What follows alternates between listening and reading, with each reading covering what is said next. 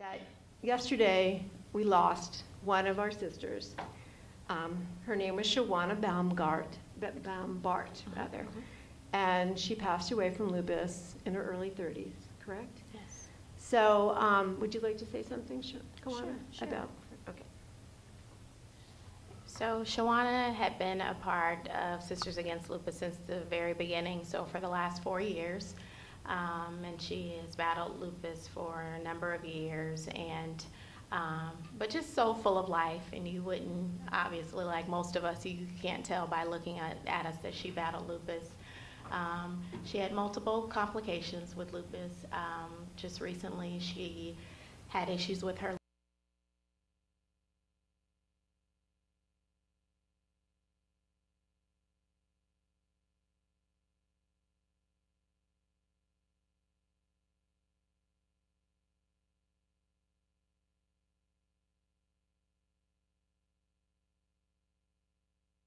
years, and so um, I'm delighted to have known such a phenomenal person and to have had her a part of our organization. Um, one thing about us, we are more than an organization, we are a family, and so it's difficult to lose one of our sisters. So um, we'd like to just have a brief moment of silence in her honor.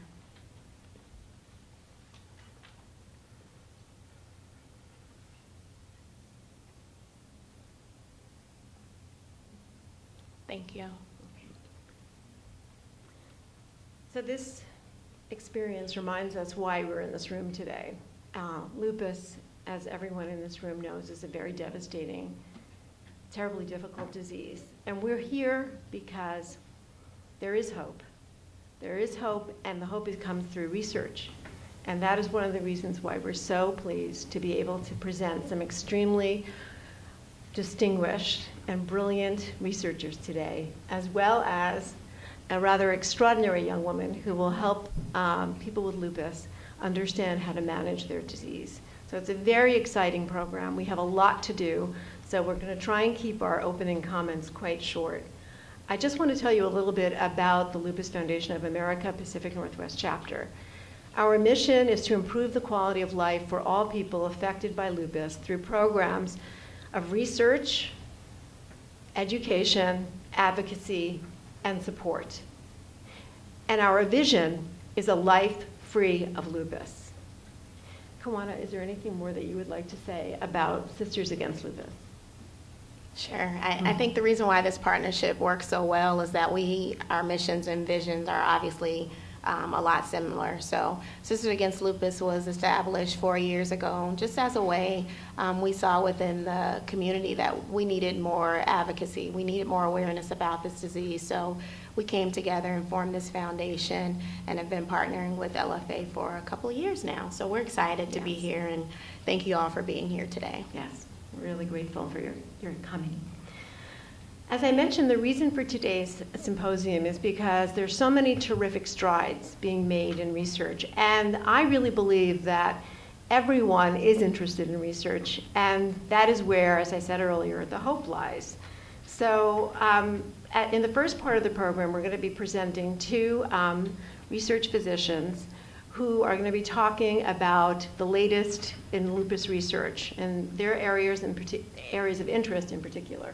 And then the second part of the program, we're going to be talking more. We have a scientist from BRI and we have our wonderful health coach talking more about what you can do, what people with lupus can do in terms of promoting awareness and working towards better treatments, better understanding of the disease, and eventually a cure. May not happen in our lifetimes, but eventually, if we are all committed enough to caring, spreading the word, raising the money, getting the research done, eventually, we hope there will be a cure. So each presenter will have about 25 minutes, 20 to 25 minutes to talk. And then at the end of each presentation, there'll be about five to 10 minutes for, for people to ask questions. So please um, don't save your questions till the end because some of our, presenta- our present presenters are leaving. Um, they have wonderful family activities they must get to. Uh, Dr. Hughes' daughter is, is competing in a soccer um, playoff today. So that is super, I mean, you know, that really is important. So it trumps being with us. I mean, being a dad is very important. Um, so I just want you to note that you should each have a program and um, an evaluation form. We have pencils as well if you would like to uh, use a pencil to fill out the evaluation form at the end of the program. We very much would appreciate your taking a few moments to let us know what you thought about the program, how we can improve, what other subjects you would like to see um, our organizations address in the future. Um, if you forget and take it home, if you could mail it back, just Google us and find our addresses and mail it back to us, that would be fantastic. And now it's time for thank yous. Um, first and foremost, we'd like to thank the Benaroya Research Institute for sponsoring this event. Go BRI. Yes. We were at their luncheon yesterday. It was awesome. Go UW too, all right? you know I have a special place in my heart for the UW and Children's Hospital. And um, we also want to thank Virginia Mason Medical Center for letting us use this fabulous hall. Um, I'm, I'm going to thank James Kruger, our tech guy of Flowmotion Studios.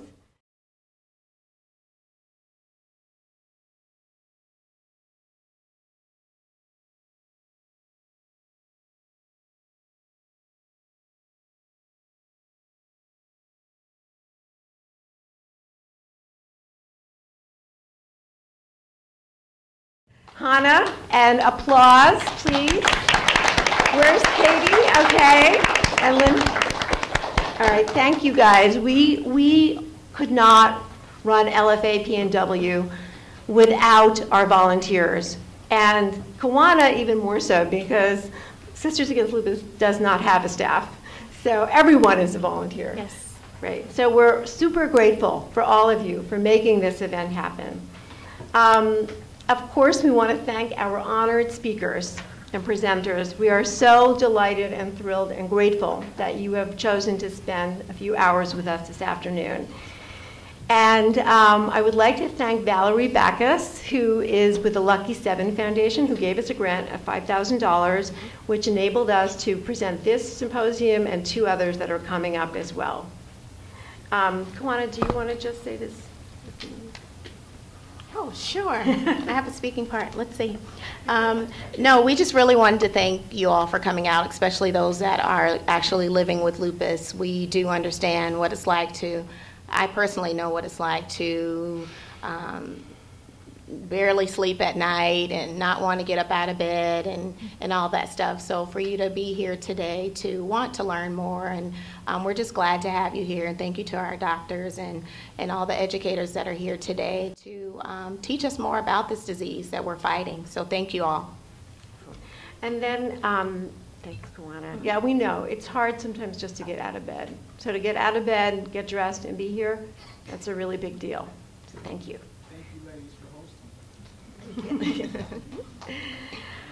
So now I would like to introduce Lori Campbell. Lori, are you ready?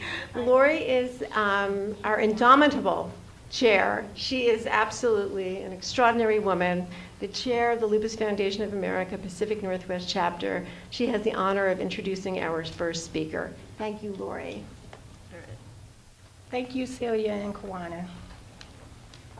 Good afternoon, everyone. And as they said, we're so happy that everyone could come out this afternoon and join us. That is quite okay, James. Um, could come out this afternoon and join us. And as Celia and Kawana said, that we know what it's like to live with lupus, and we truly appreciate any educational symposium that we can put on to help everyone who's involved with that person's life who is living with lupus. So I also want to say thank you to the friends and the family of those who support us every single day in our daily struggle of dealing with this disease. Now I would like to have the pleasure of introducing our first guest speaker, who is Dr. Grant Hughes. Dr.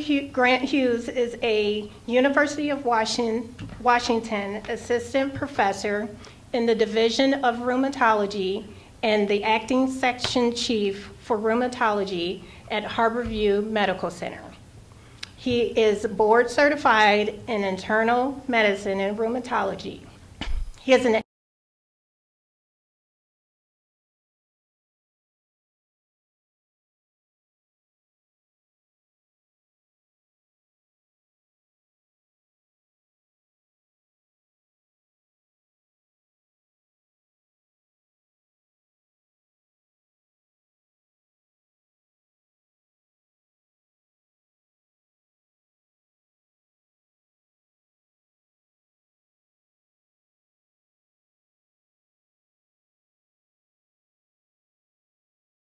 treatments and diagnostics tests. So it gives me great pleasure to introduce Dr. Grant Hughes.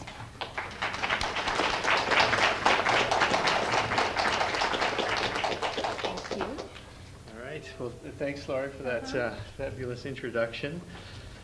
And uh, thank you, uh, Celia and Kawana, for inviting me to, to speak here today. It's terrific to see so many people here to, to discuss and learn about such an important topic. And I guess there's also people watching uh, via the internet on live stream. Um, uh, and to share with me um, a topic that I've, I've been, it's captured my imagination and interest since I first began medical training um, in the uh, late 1990s. So today I'm going to talk about a sort of an age-old question: is why does lupus affect women so much more often than men? Um, sort of a, it's a neglected question, but it uh, has gathered some steam in terms of research in the last 10, 15 years. And I'm not going to talk so much about my own work. I, you know, what I do is just a small sliver of, of the mystery, but I'm going to summarize what a lot of other people much smarter than me have figured out over the last few years and give you a bigger picture. Um, and hopefully also identify, really highlight the fact that there's a ton more work to be done in this, this particular area. Here are my financial disclosures.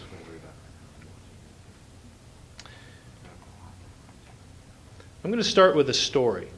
And we'll call this person Sophia. It's not her real name. Um, and it's not her real picture. But I think this photograph captures the, the youth and vitality of, of most lupus patients, most people with lupus. Um, so I'm going to tell you a story.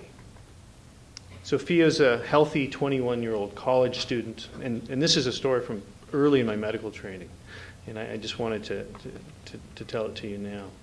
She had two brothers, or has two brothers who are healthy and in the spring starts developing fevers, achy joints, chest pain, and a rash. By late April, she starts hearing voices. She's confused. She has to drop out of school, and she's worried that people are trying to hurt her. And then later,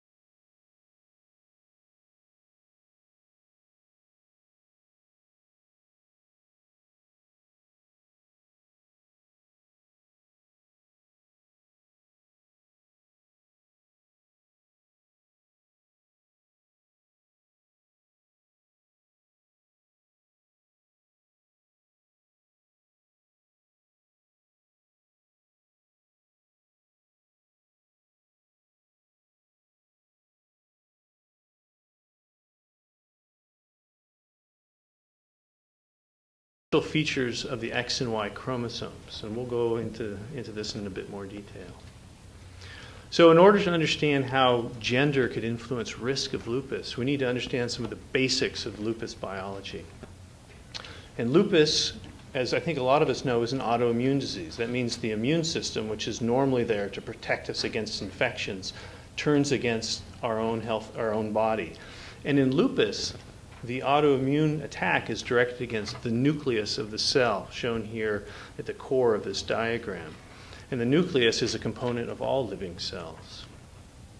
Now, the immune system can't see the nucleus inside a cell, but when cells die or turn over, which happens in all of our tissues on a daily basis, the, uh, in a person with lupus, the immune system can recognize the nucleus. And here's a picture of some dead cells under a microscope um, where the uh, lupus patients' uh, antibodies have been tagged with a green fluorescent dye. You can see they're just attacking these nuclei. And so, um, because dead and dying cells are present in our bloodstream and in our tissues on a regular basis, uh, can trigger immune attack in patients with lupus. And, and the immune attack can, can be in any part of the body the joints, the skin, the kidneys, lungs, or even the brain. And so it's not so much that lupus is targeting each individual organ for attack, it's that it's targeting components that are common to all tissues of the body. And that's an important point in lupus. So, in the, in, at least in this country, about 9 out of 10 patients with lupus are female. And that's um, a pattern that's repeated in lots of other autoimmune diseases, as you can see in this diagram on, on the right.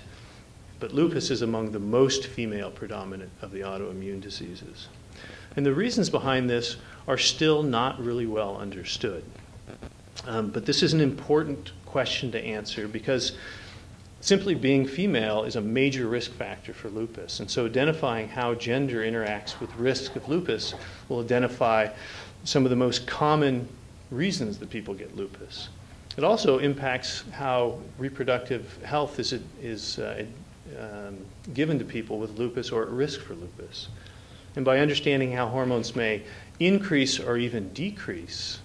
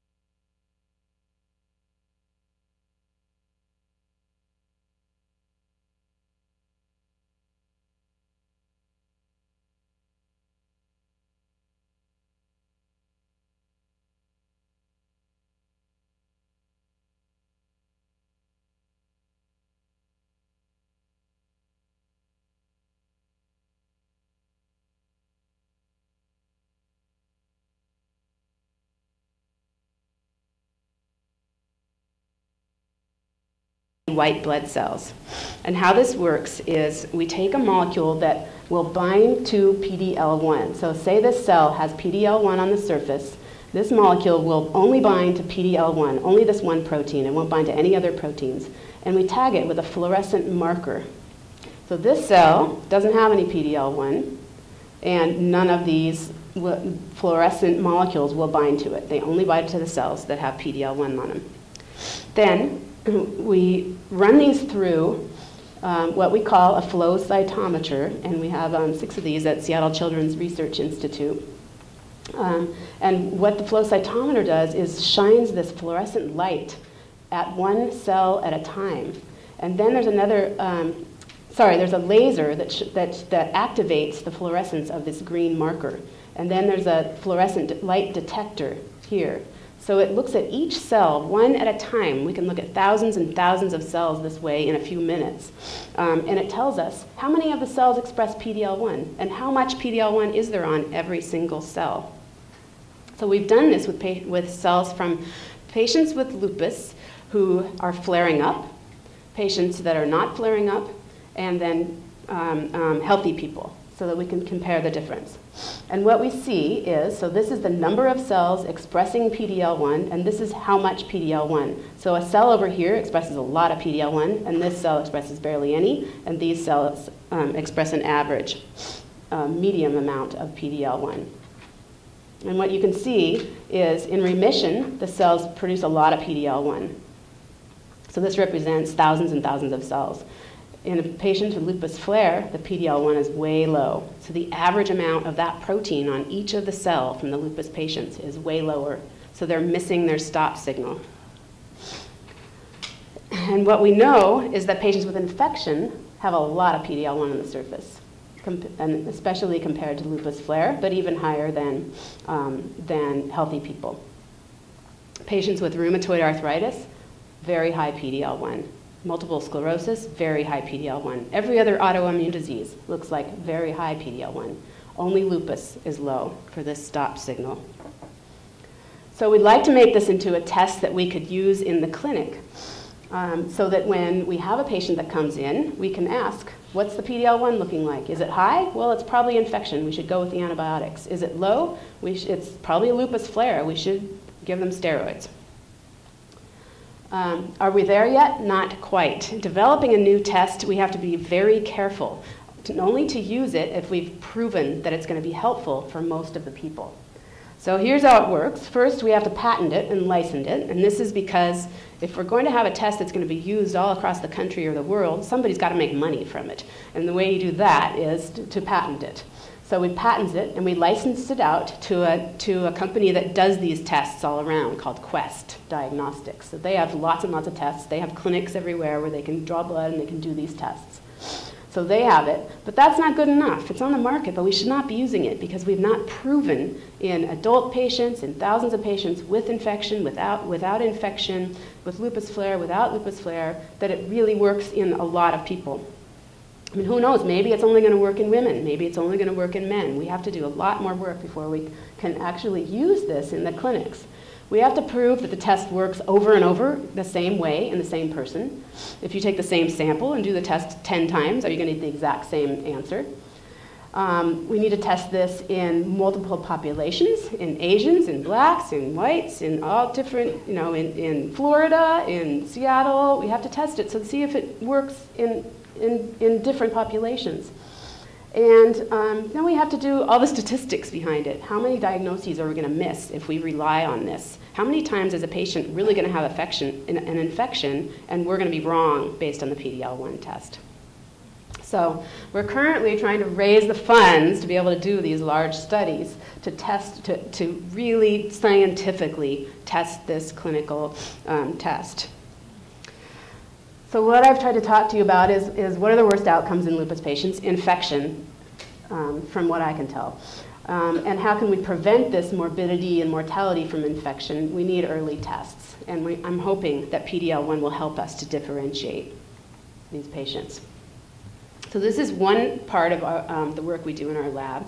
And of course, I can only do work on one project at a time and be able to really move it forward. I'm only one person. Dr. Hughes is one person. We're working as fast as we can, but my other mission is to try to get everyone to study lupus. And so this is how I'm doing this. and um, um, there's really great opportunities in the city of Seattle and the state of Washington to, um, to try to, to get um, scientists and physicians in different areas interested in lupus and get them to put efforts into these problems too. So um, at the Fred Hutch, I have a Starler Oncology there. Um, there's a wonderful immunology lab who's interested in that T cell reaction to the tumors I told you about. Veronica Groh and Thomas Spies, they're very renowned immunologists who study very basic immunology. They were studying a molecule that they found is important in this T cell response to tumors. And I started looking at it and mm, maybe this is interesting in lupus. Took cells out of my freezer, bring them over to Fred Hutch. They tested them. She's published two papers on it already. Looks like their molecule on T cells is going to be a very important marker in lupus as well. Um, and she's working on a third paper right now. Dentistry, what the heck? Why would dentistry have anything to do with this? Infectious diseases. We're working with the School of Dentistry to, um, to work on this issue of the microbiome. So, how does our immune system get regulated by all these bacteria in our mouths that activate the immunity in our mouths and in our guts? There's billions and billions of bacteria in our intestines that are interacting with our immune systems every day. And we don't really understand which bacteria are good, which ones are bad how can we change this and how can we regulate the immune system better through changing the bacteria in our mouths, maybe th- through specific antibiotic rinses, maybe through prebiotics, maybe through nutrition, which will feed the bacteria differently. It's very early science, but I think it's super important. So we're just starting to collaborate with um, um, not only th- these folks, but also the gastroenterologists who are studying these immune system um, in the gut interactions. Genetics, we work with um, the Center for Human, Human Genome Sciences at the University of Washington, who are involved in a massive um, project sequencing whole genomes. And so we are collecting at Seattle Children's families um, who have multiple members with autoimmune diseases such as lupus. And we are able to take the DNA from these family members um, and send them to the University of Washington so they can sequence the whole genome so that we can identify new genes that um, may be involved and may be important targets for therapy. Pregnancy. so glad you brought that up. Um, I've been studying for a number of years this concept of um, fetal microchimerism and maternal microchimerism. And what that is, is during pregnancy, cells pass back and forth between the mother and the child. And fetal cells, mainly male cells, have been found in women with lupus and mother cells have been found in kids with lupus.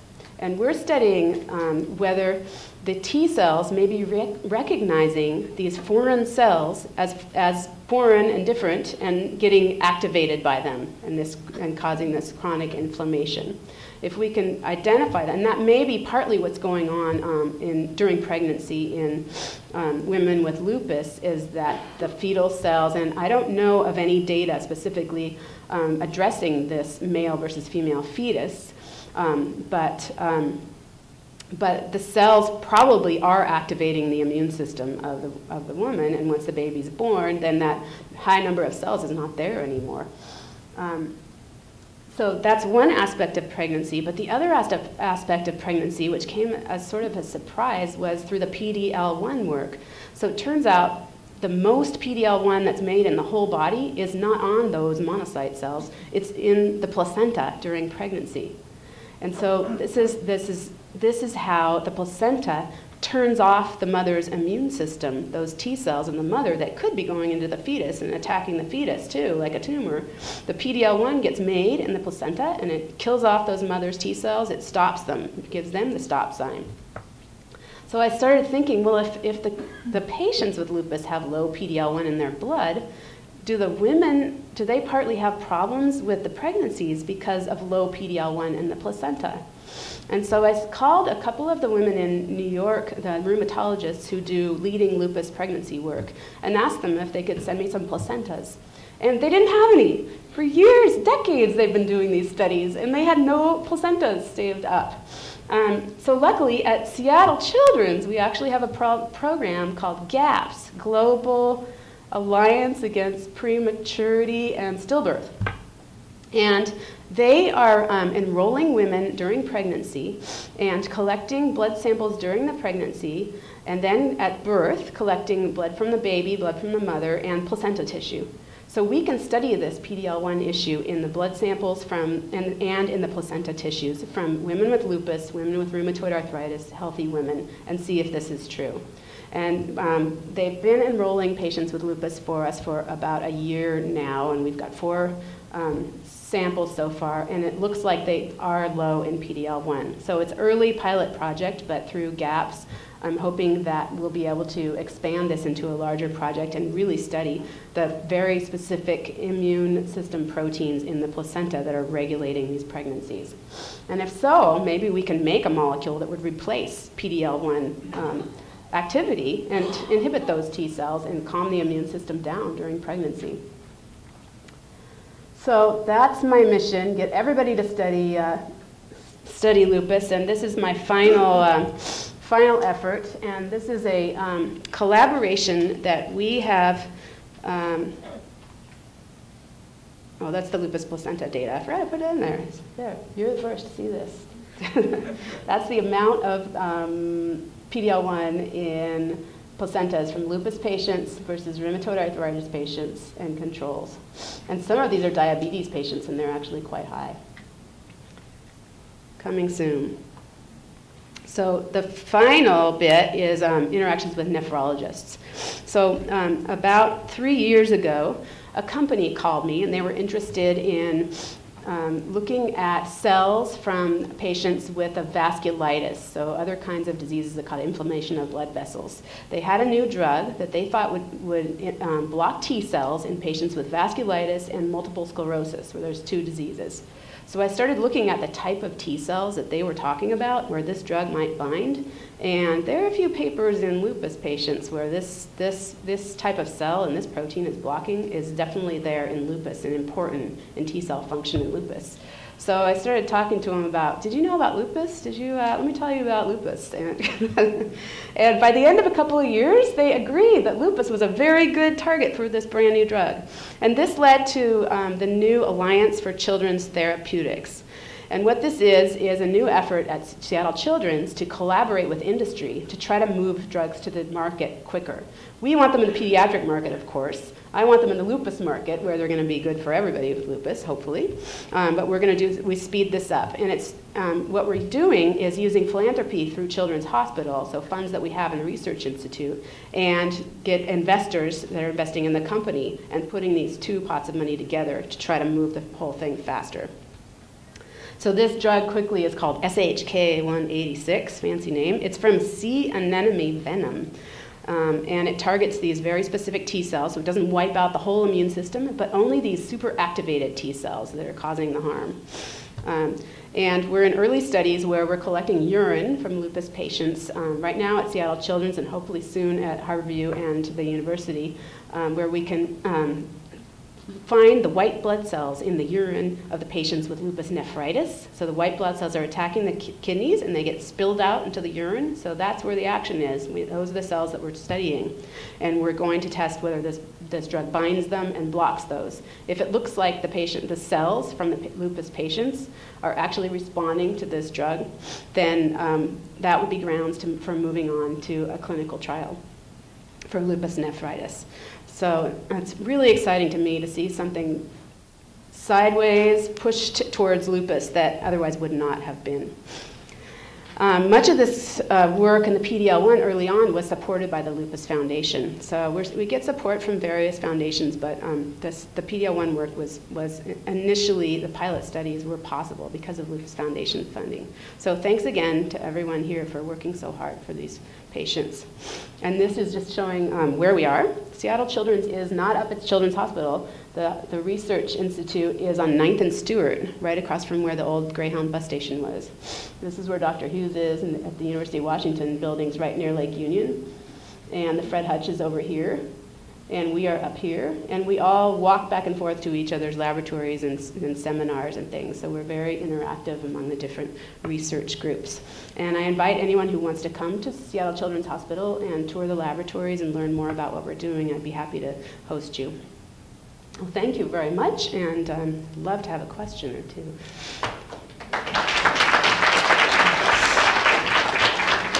Question?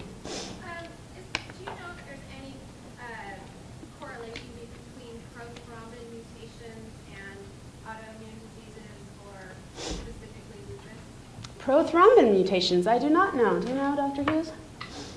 No. Are you thinking about the clotting part of the? I mean, we certainly see antibodies that block prothrombin, prothrombin activity and predispose to blood clots, but um, I don't know about mutations in it. It's not one of the genes that pops up as one of the highest candidate genes in these whole genome studies, but that doesn't mean it's not important. Oh, okay, yes.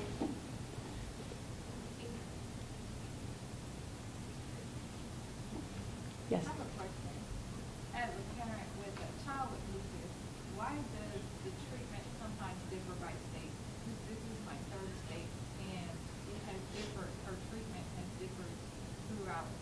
Like, and it, um, Mhm. then like, when we were in Texas, they gave her Benlysta, which, you know, is not even, when we went to New York, it was like a criminal offense. So, why does it, why does it differ? Why does the treatment for a patient with lupus differ from state to state? I would go further than that. The treatment for lupus differs from rheumatologist to rheumatologist. Even at Seattle Children's Hospital, we have 10 pediatric rheumatologists. You would probably get a slightly different treatment depending on which rheumatologist you went to. Other factors are, of course, insurance approval, um, which we try not to let us let affect us at all. We do the best science, but the other issue is that there's not a lot of good science, especially in children. There has never been a clinical trial for children with lupus, ever. So this lupus nephritis one, if, if we do this, if there's grounds for it, then that would be the first one ever. So we're, for children, we're just guessing based on the small amount of data we have from adult clinical trials. And the adult clinical trials, they're very limited. I mean, there, a lot of them don't take patients with nephritis, so they're patients that are not as sick are being, so we know what the side effects and the, and the efficacy of the treatment is for this set of patients, but all the patients that we see in clinic are completely different. So it's lack of science, it's different opinions, and insurance coverage. Yes, sir. Um, So you've not been able to synthesize PD-L1 given intravenously? Ah, yeah. So, so what do we need to do to develop a PD-L1 replacement drug? Um, it's tricky in that that if we just make a molecule by itself, it doesn't work. It would bind to the cell. It needs to be a group of molecules, probably attached to a bead. Um, there have been animal studies where they make a cell that makes a lot of PD-L1. If you put that cell into the lupus mouse, it works pretty well.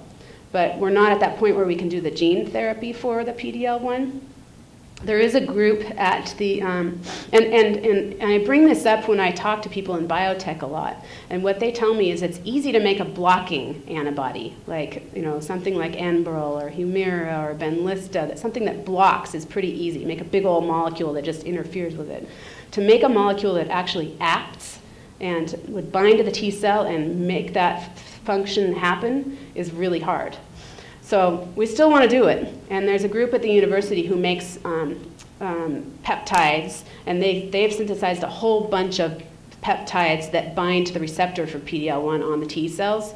And so we're working with them, and the folks here at Virginia Mason are also working with them to screen all of these and see. Some of them might block, some of them might activate. And so I think that's probably going to, way, going to be the way to go. Maybe those little peptides, little small molecules that will do the job, or attaching them to a synthetic kind of um,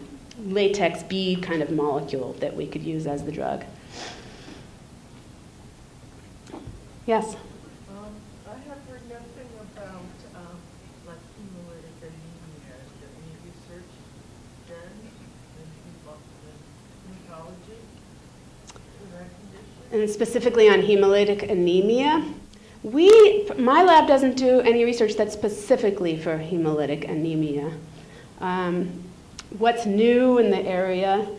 The, the one thing that comes to mind is that um, a, a friend of mine that works at the University of Florida has a mouse model where he is looking at these receptors that are responses to infections, called like toll-like receptor, and um, defects in those. And he's found very specific defects in genes in, uh, um, in mice that some, some get lupus, some just get hemolytic anemia. So it's kind of cool that he's developed this mouse, model because now he can test treatments for this aspect of lupus. And I think that's kind of where the, the field with using animal models is going, is taking apart all the different aspects of lupus. Because patients don't have all the parts of, you know, everything in lupus. They might just have hemolytic anemia, they might just have nephritis, um, might just have arthritis. So, um, so he's doing that that way. What we're doing at Seattle Children's is a little bit different. We're taking, um, we're making mice that have these tiny little gene defects. So we say this gene contributes this much risk to it. It's not a deletion of the gene, it's not a total destruction of the gene. Usually it's just a little change in the DNA, one or two um, nucleotides in the DNA. So we're making mice that have these tiny little changes, and we'll be able to test and see which parts of lupus these mice get. Yes? Um, I was just wondering what happens to patients with multiple autoimmune diseases and the PD-L1, and also, does that Ah. have anything to do with the uh, AIRE genes? Or I for AIRE gene mutation? I do not know a connection with the AIRE genes. It's an interesting question. Um, and I have no idea what PD-L1 is doing in patients with multiple autoimmune diseases. There, no, one has, no one has studied those patients. I have one more question for Annie. Um, I was just wondering, some, some doctors hang their hat on the ANA, that if you test positive for that, you, you have lupus, and if you test negative, you don't. And then, and, and my son runs, runs into that problem a lot, but, um, but the, the uh, lupus foundation says that if you check off six of the eleven, I guess it's four of the eleven, that then you should be diagnosed with lupus. Is there any, in, in the medical field, is there, is it, are they coming to, to a, a common denominator that, you know, that if it walks like a duck and talks, and, you know, that you have lupus even though your ANA is, uh, Such a problem. It's such a problem. And, and it goes both ways. And we see a lot of patients in the rheumatology clinic who come in because they have an ANA and the family is terrified they have lupus. But 10% of normal healthy children um, have an ANA. So the ANA itself is not a diagnosis of lupus. Um, if the ANA is pretty low or negative, it's unlikely that, that it is lupus. But like you say, there are 11 criteria. Um, do you need to have four of those criteria in order to have lupus? No. Those criteria are set out for, for um, research studies so that we're all talking about the same thing in a research study. So you have to, to publish a research study, you have to use those criteria. Patients have to have four out of the 11.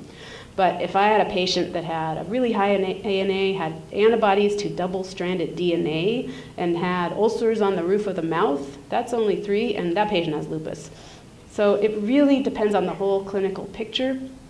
But um, I don't think we, we're really very good at being precise in diagnosing lupus. And we're still in a position where we're basing on our experience and best guesses. So we need better tests. It'd be great if we could have a genetic test. All right, thank you very much. I appreciate your attention.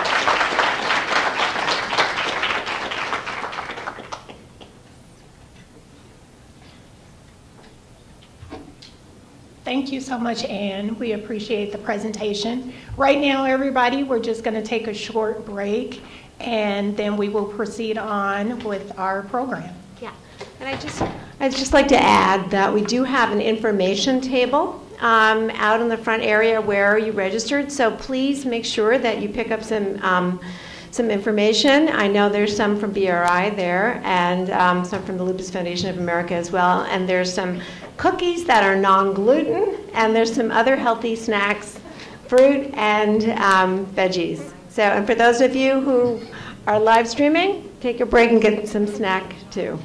Okay.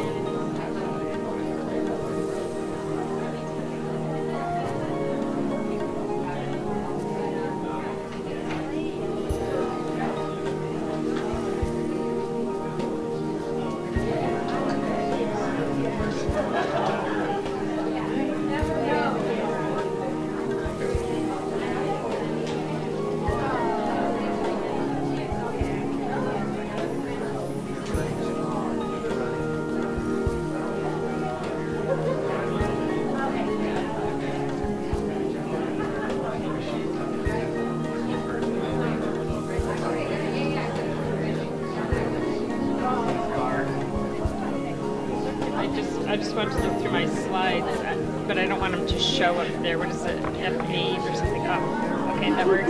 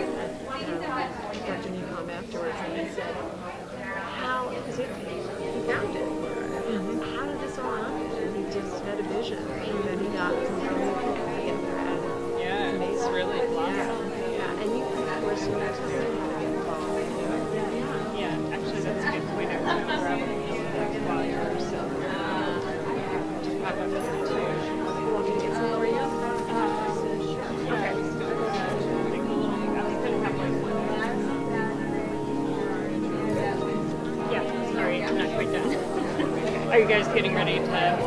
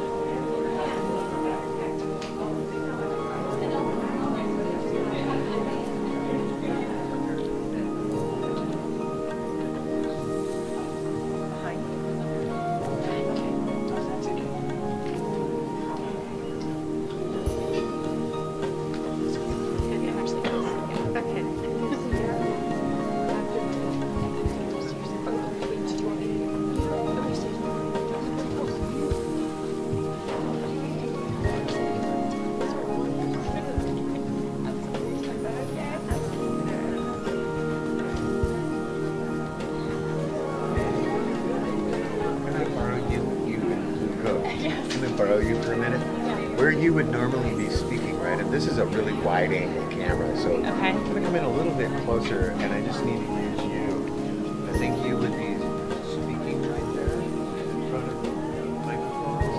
Yeah. Yeah, thank you.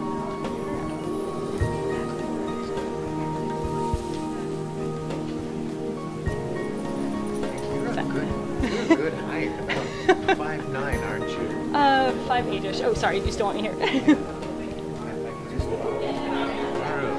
Yep. a minute. Okay? So, thank you.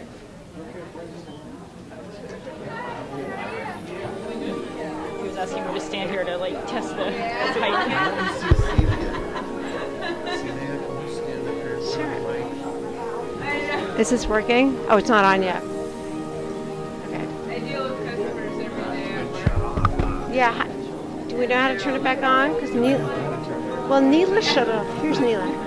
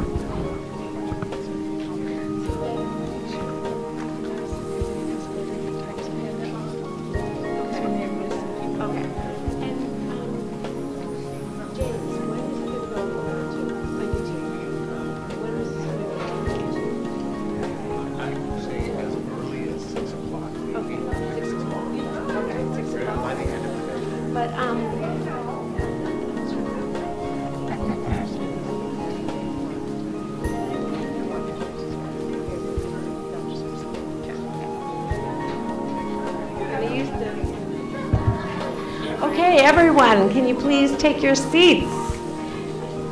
We need to um, have the second half of this program. We're so, I'm so in awe of the two presentations we have heard.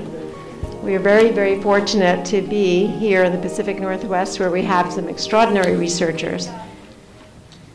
Um, Could someone please, Neela, can you tell those people to come in? There are people out still chatting in the hallway. We want, want to get them in. No? All right, so let's start. Um, Before Dr. Salate speaks, um, she's going to be introduced by a wonderful young woman who is the future of lupus research. Oh, excuse me, could you just make sure that Dr. Salate is here? Where is she? Oh, there you are. Excellent. Okay. So we are very privileged and honored to have on the board of the Lupus Foundation of America Pacific Northwest Chapter Dr. Katie Moore. Katie Moore. And Katie is a rheumatology fellow at Children's Hospital here in Seattle. And she is, has been mentored by Anne Stevens. And she's amazing board member, incredible advocate, wonderful fundraiser, and an, inc- and a fantastic doctor. And we're very, very grateful to have Katie on our board. So, Katie, now the microphone is yours.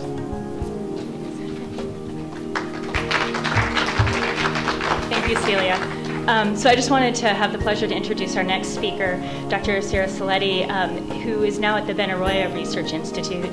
She actually initially started her research in infectious disease back on the East Coast at the University of Rochester, and then went on um, to move to us in Seattle and has made her way first through Fred Hutch um, and then ultimately to Benaroya in 95, and I'm looking really forward to hearing what she has to say.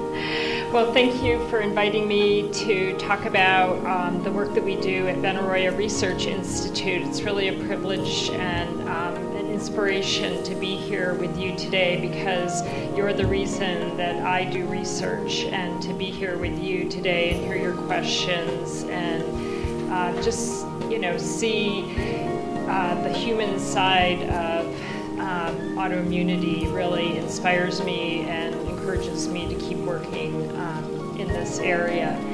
Um, so it occurred to me when I was uh, putting this talk together that um, not all of you uh, may get your health care at Virginia Mason. So you may, and even if you do get your health care at Virginia Mason, you may not know about the Benaroya Research Institute. So I think I'm going to start by giving you a little background about uh, BRI. And then I'm going to tell you about a really important aspect um, what we do there, which are our biorepositories and how that's helping to move um, research in lupus and all autoimmune diseases forward. So um, at BRI, our focus is autoimmunity. And um, I'm kind of preaching to the choir here when I tell you that there are more than 80 autoimmune diseases and they um, strike one um, in 20 Americans. And they're among the top 10 causes of death in children and women who are 65 years of age and younger. And you heard um, so nicely from uh, Dr. Hughes earlier about, uh, or sorry, Dr. Grant earlier about the uh, um, sexual dimorphism and the women be affect, being affected far more often than men. Uh, so, um, and that's really, um, really a picture of the disease, and then, of course, the cost of um, caring for uh, people with autoimmunity, both for therapies and interventions.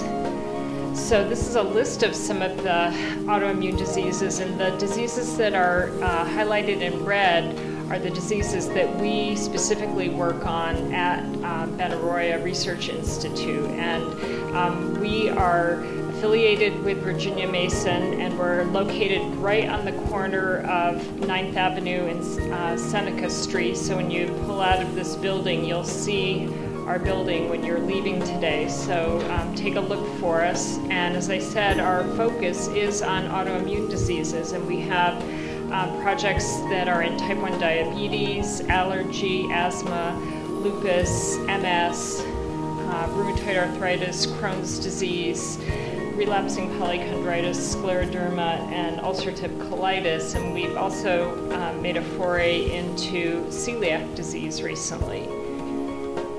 And um, just a little bit about who we are at BRI. So we're a relatively small research institute, but we have 50 um, plus years of scientific experience.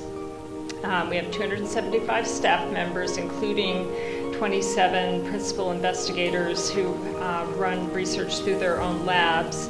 We have a um, uh, nearly $50 million research volume in 2013 and um, 67 million for 2014. And one of the key things that we um, have at BRI is that our director, Dr. Jerry Nepom, who some of you may know, um, had, was appointed several years ago to be the director of the Immune Tolerance Network through the um, National Institutes of Health. And so we now also have, we're now also the home for the um, ITN, as we call it.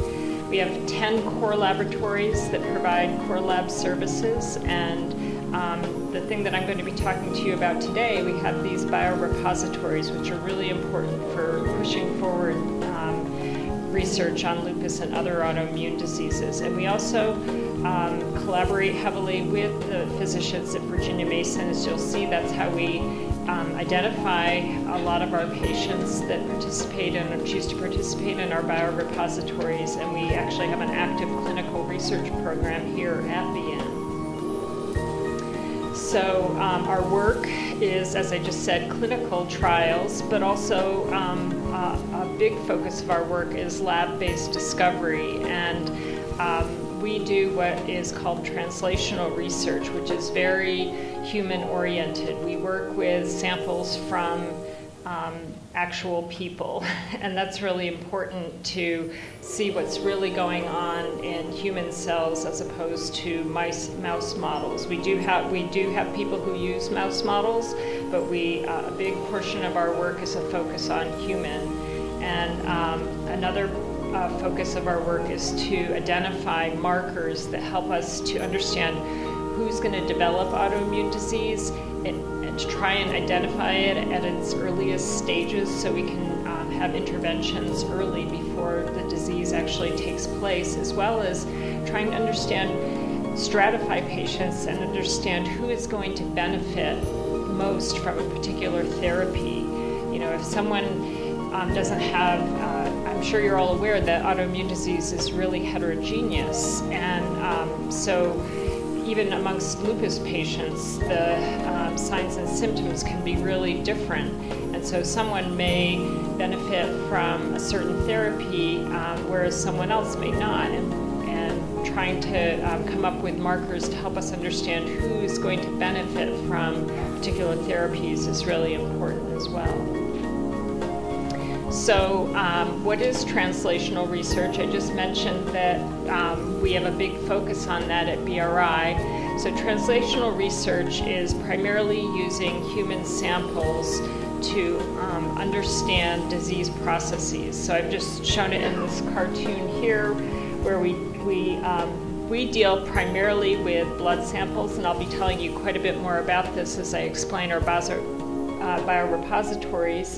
We then take these blood samples, um, do lab research on them, and the goal is to um, identify new markers for the disease and therapies. So, um, one of the things that sets Benaroya Research Institute apart is that we have these biorepositories. And um, as I mentioned before, we have about 12 of them, and this uh, slide shows you our um, our biggest and uh, most important biorepositories. Um, we have uh, primarily disease repositories, but then we also have a healthy control repository because it's really important when we're doing translational research. We need to compare um, experiments using uh, samples from patients to samples from people who do not have the disease so we can understand what is something that is specific for the disease, what is a change that's specific for the disease.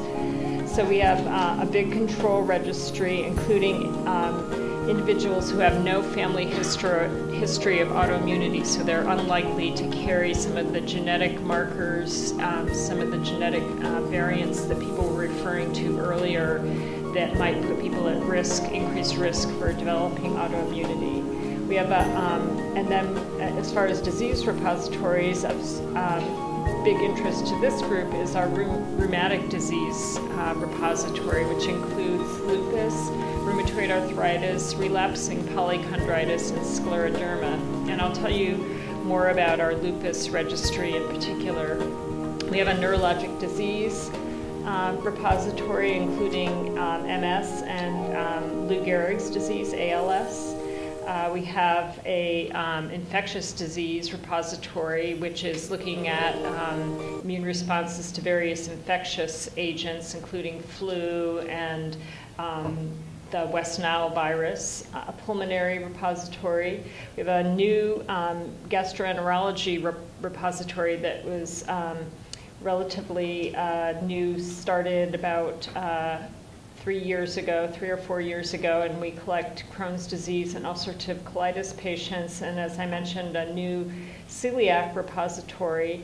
One of our biggest repositories is type 1 diabetes. And um, as part of that, we also have a smaller group of type 2 diabetes that we use as controls in some of our studies and then the allergy and asthma repository, including um, subjects with peanut and tree allergies, grass allergies, and um, shrimp and milk allergies. And um, uh, the function of our translational research program and the development of our biorepositories is really um, an interwoven and um, uh, wheels in a cog type of uh, relationship with Virginia Mason Medical Center. So, as I mentioned, a lot of our patients, uh, most of our patients in our biorepositories are identified through um, seeing a physician in rheumatology, for example. And um, we have uh, our clinical coordinators, who I've shown here in yellow, that are a really important key. They're the they're the person who interacts with the physician and with um, the patient to ask them if they would be interested in joining a biorepository. If they are, they um, ask, they give them informed consent, and then they would draw blood samples. So they're a really key piece of this machinery.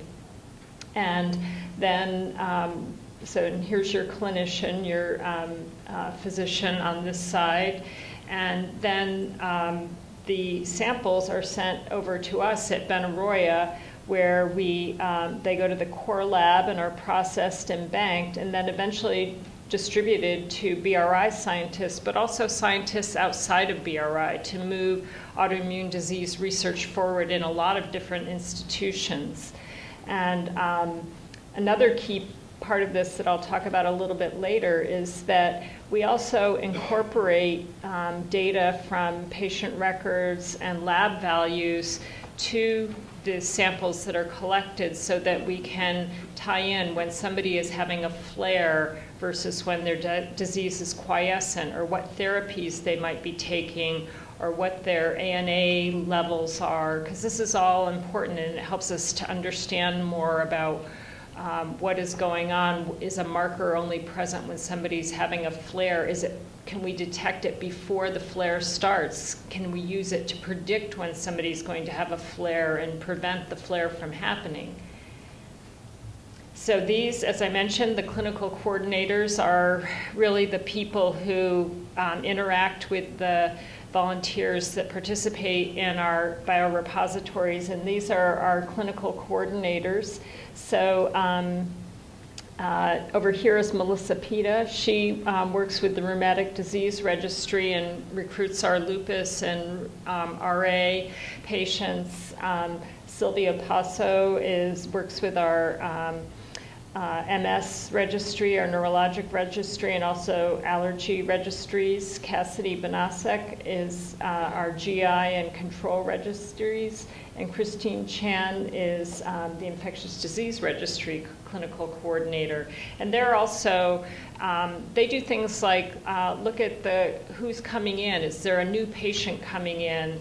Who won't be on therapy that she could approach to ask, Would you be interested in participating in our biorepository? Or here's someone who's coming in, is in our biorepository, but is having a flare. So she works very closely with the physician.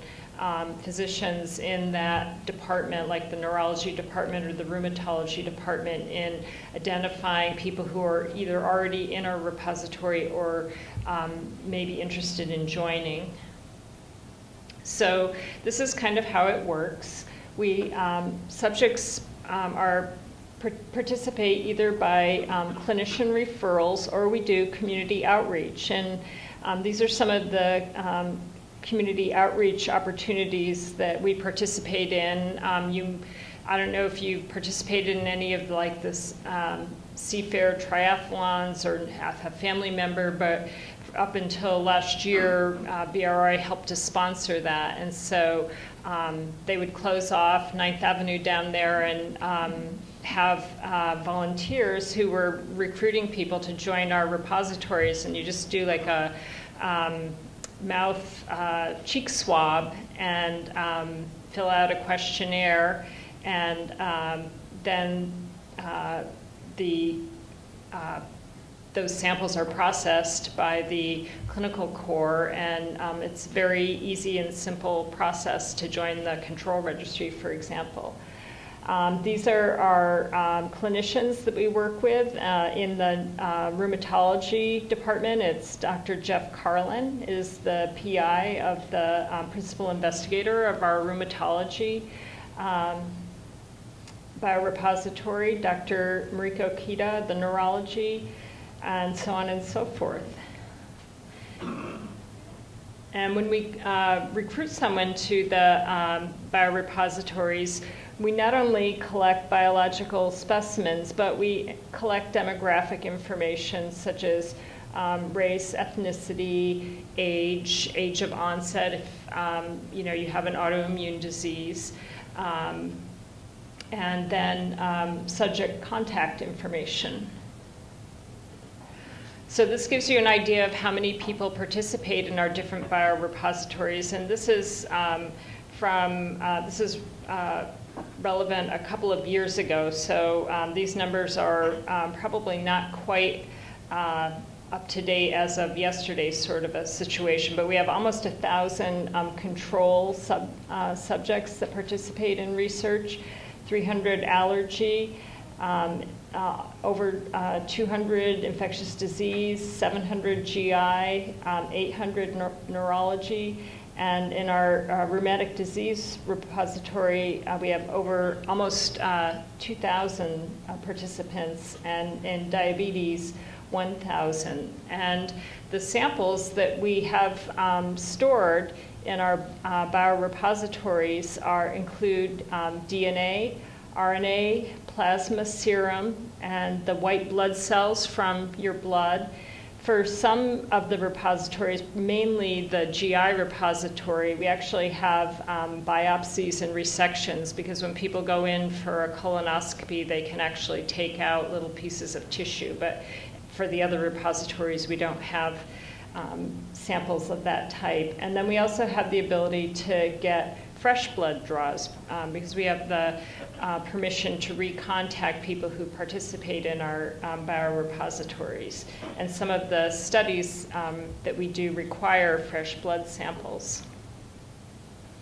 So um, a key part of our biorepositories is, as I said, we have these samples, but then we also are able to tie this to um, clinical information in the case of the autoimmune patients. So we can um, collect disease-specific information. So in the case of lupus, we'll have um, ANA levels. Um, uh, in type 1 diabetes, we might have uh, glucose uh, control levels or their um, hemo, uh, glycosylated hemoglobin levels, so things of that nature. Um, we'll have metal, uh, medical histories and um, importantly, what therapies are you currently taking because sometimes that can impact, you know, depress your immune system. So we want to know that if we're testing something in the lab, okay, could this be due to a therapy that somebody is taking rather than an actual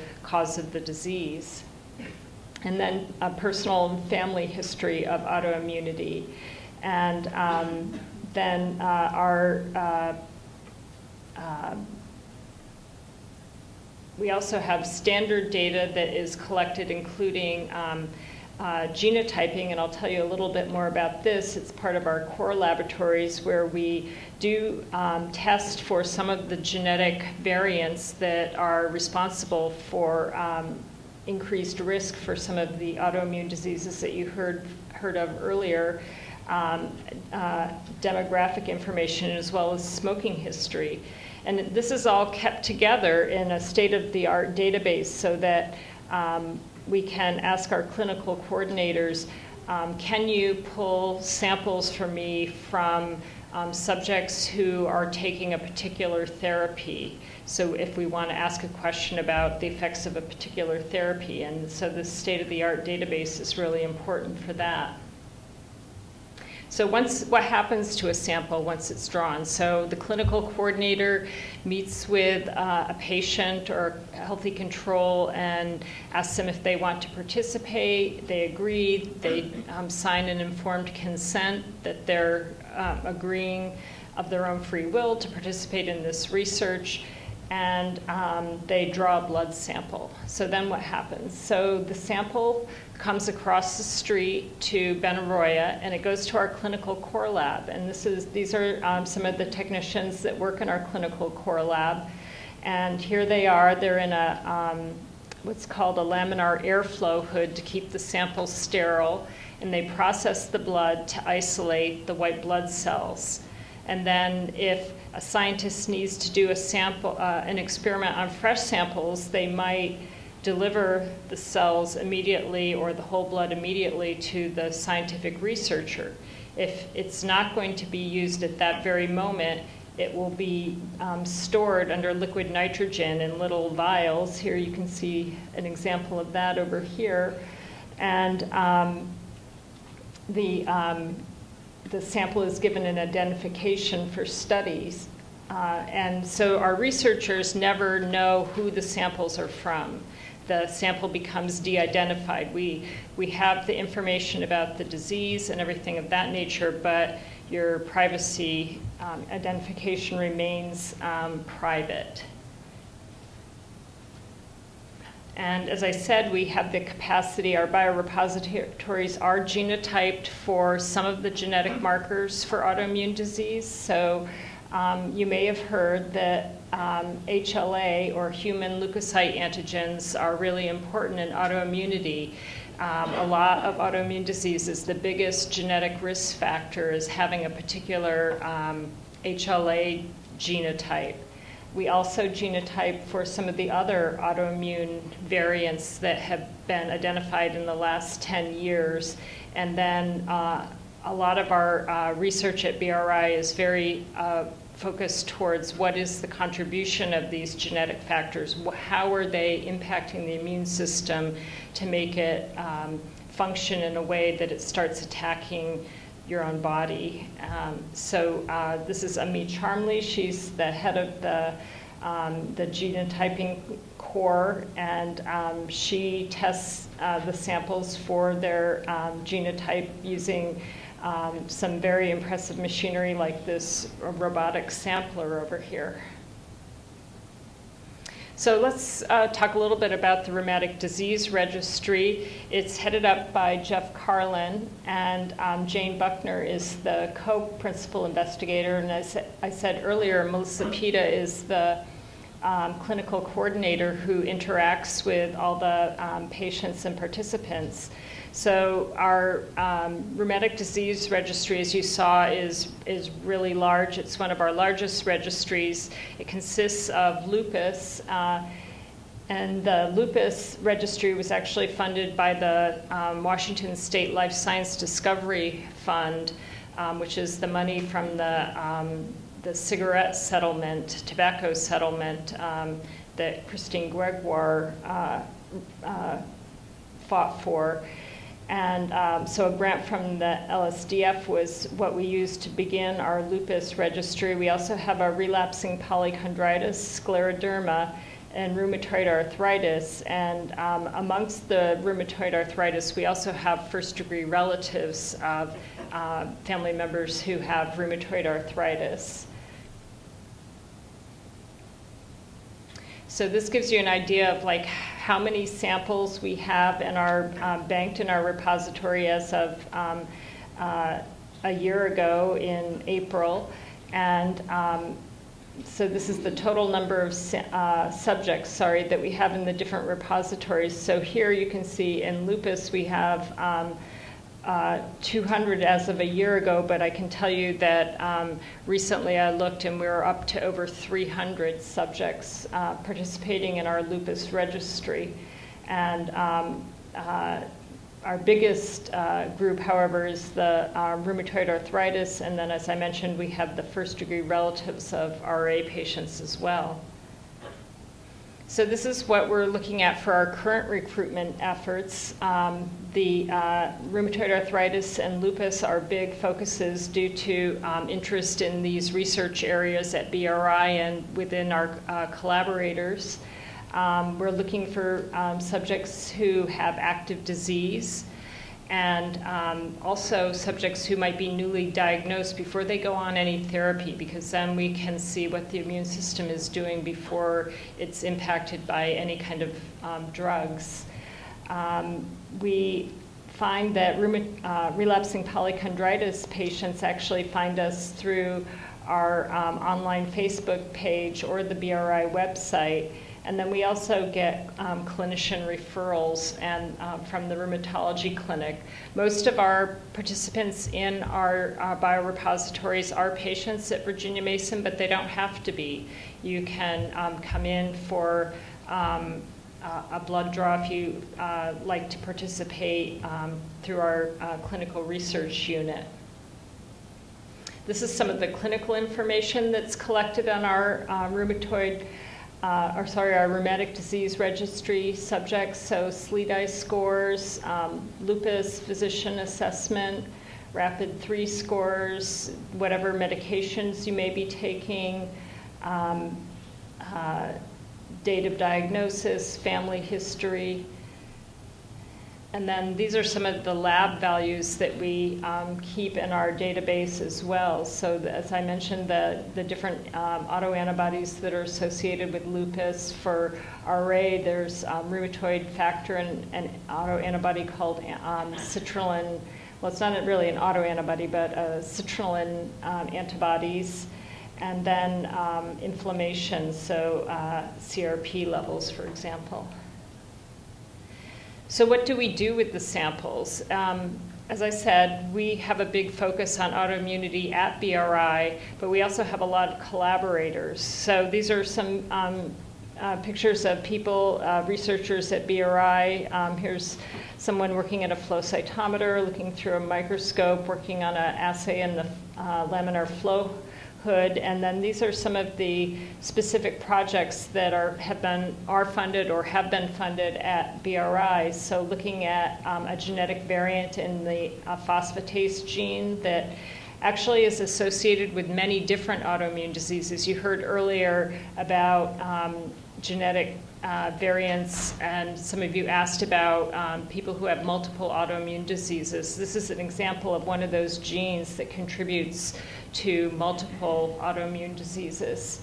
Um, uh, myself, one of my research projects is looking at a gene that's been associated with risk for lupus, this BANK1 gene, and how it's affecting B cell development and the development of autoantibodies in lupus. And also, uh, more recently, on a, a factor that makes B cells grow. And then lastly, we have a large number of collaborative research agreements with um, pharmaceutical companies. And um, our samples have been incredibly important for um, the biopharmaceutical companies to have access to human samples to test um, for different features of autoimmune disease, but also to test their therapies with in culture systems before they actually try and take them to clinical trials where they're actually injecting them into people. And so um, we have been highly sought out by the biopharmaceutical industry as a source of really well characterized um, patient samples because this is really. Um, there's a big need for, for that um, in the biopharmaceutical industry. So just to close, um, we at BRI feel that um, you know autoimmune disease is clearly our focus, but we're really in this with all the patients. That you know we can't do this without you, and um, hopefully we're doing something that is giving back to you as well. And um, I just want to mention uh, Melissa I spoke about earlier is our um, rheumatic disease registry clinical coordinator. Gina Marcazzini is the um, manager for our translational research program, all the different repositories. And we have a web page if you're interested. And then I brought a couple of things that um, with me. So you may have received this or picked it up out there. This is just a summary of our biorepositories if you want to le learn more. This is just a handout about BRI and, and what we do there. And then importantly, if you want to receive more information about what we're doing at BRI with our um, different uh, autoimmune repositories, you can sign up for our newsletter. And if you actually feel like you'd like to participate, you can express an interest to do so on the back of the card. And I left a ginormous yellow envelope out there on next to where these are on the um, sideboard, and if you um, want to participate or receive the newsletter, feel free to drop the card in there. So um, I'll end there, and I'm happy to take any questions. And again, thank you so much for inviting me to come speak with you today.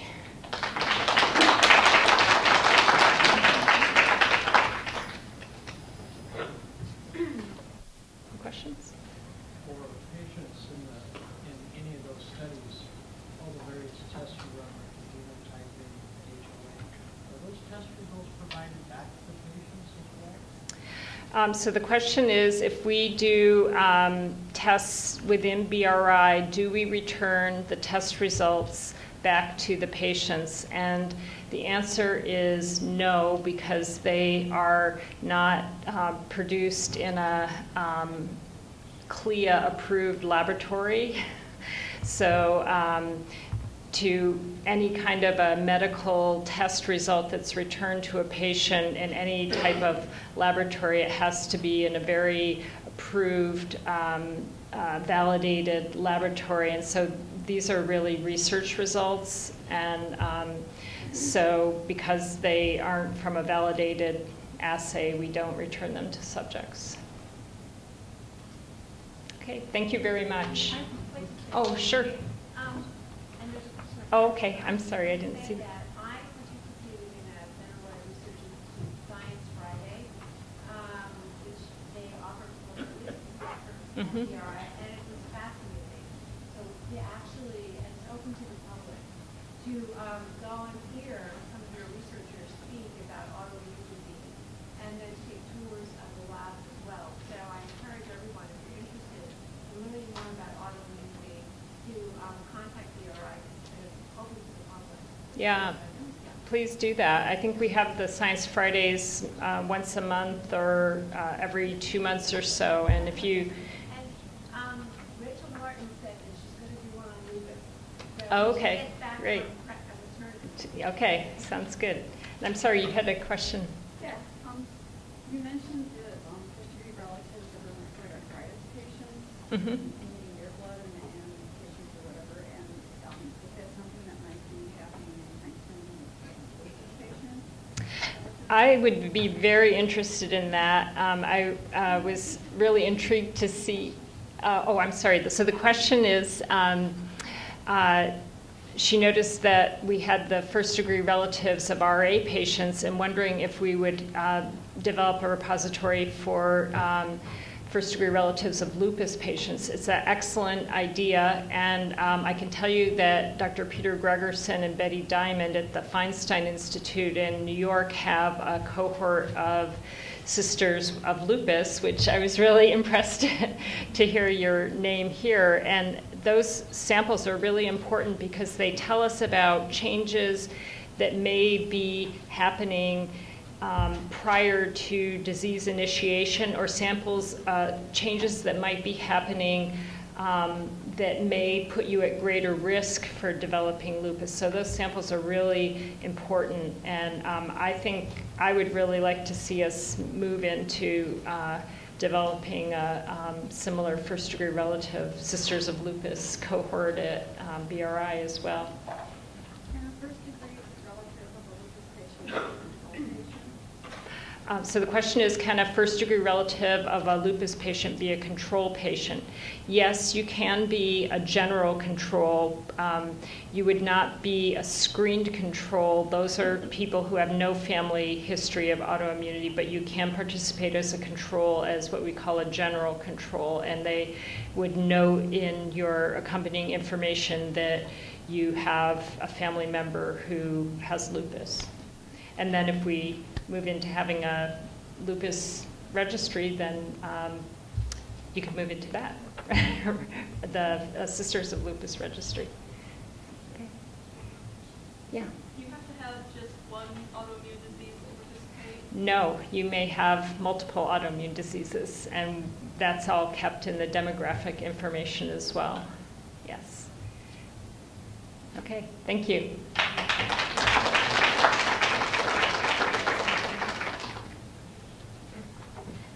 Thank you so much, Dr. Karen, and we certainly appreciate the partnership with BRI. Um, hopefully you're all awake and still energized. We have one more presenter, and I have the privilege of introducing her. Um, first, I want to make sure everyone has um, her handouts, so you should have four handouts here. Um, one is a self-care plan, and then there's um, actually one that has why is exercise important, and then on the back is the benefits of massage. There's also one that says um, top 10 benefits of drinking water. And on the back side of that is the importance of sleep. I definitely need to hear this. And the last one is a health assessment. So does everyone have all four of those? Nope? Just raise your hand and we'll, we'll get some more out to you. So I'm going to have Miss Sanithia Parker come up. She has a fancy bio inside the program. You can feel free to read that. But I wanted to introduce her on a, a personal note. She is a member of my church. She is a leader of our health ministry at our church, and she's doing a phenomenal job um, making sure that we stay healthy. Um, our culture loves fried chicken in particular, so she is breaking us away of those cultures and providing um, some good, nutritious meals for us. So I'm happy to have Sanithia here with us today.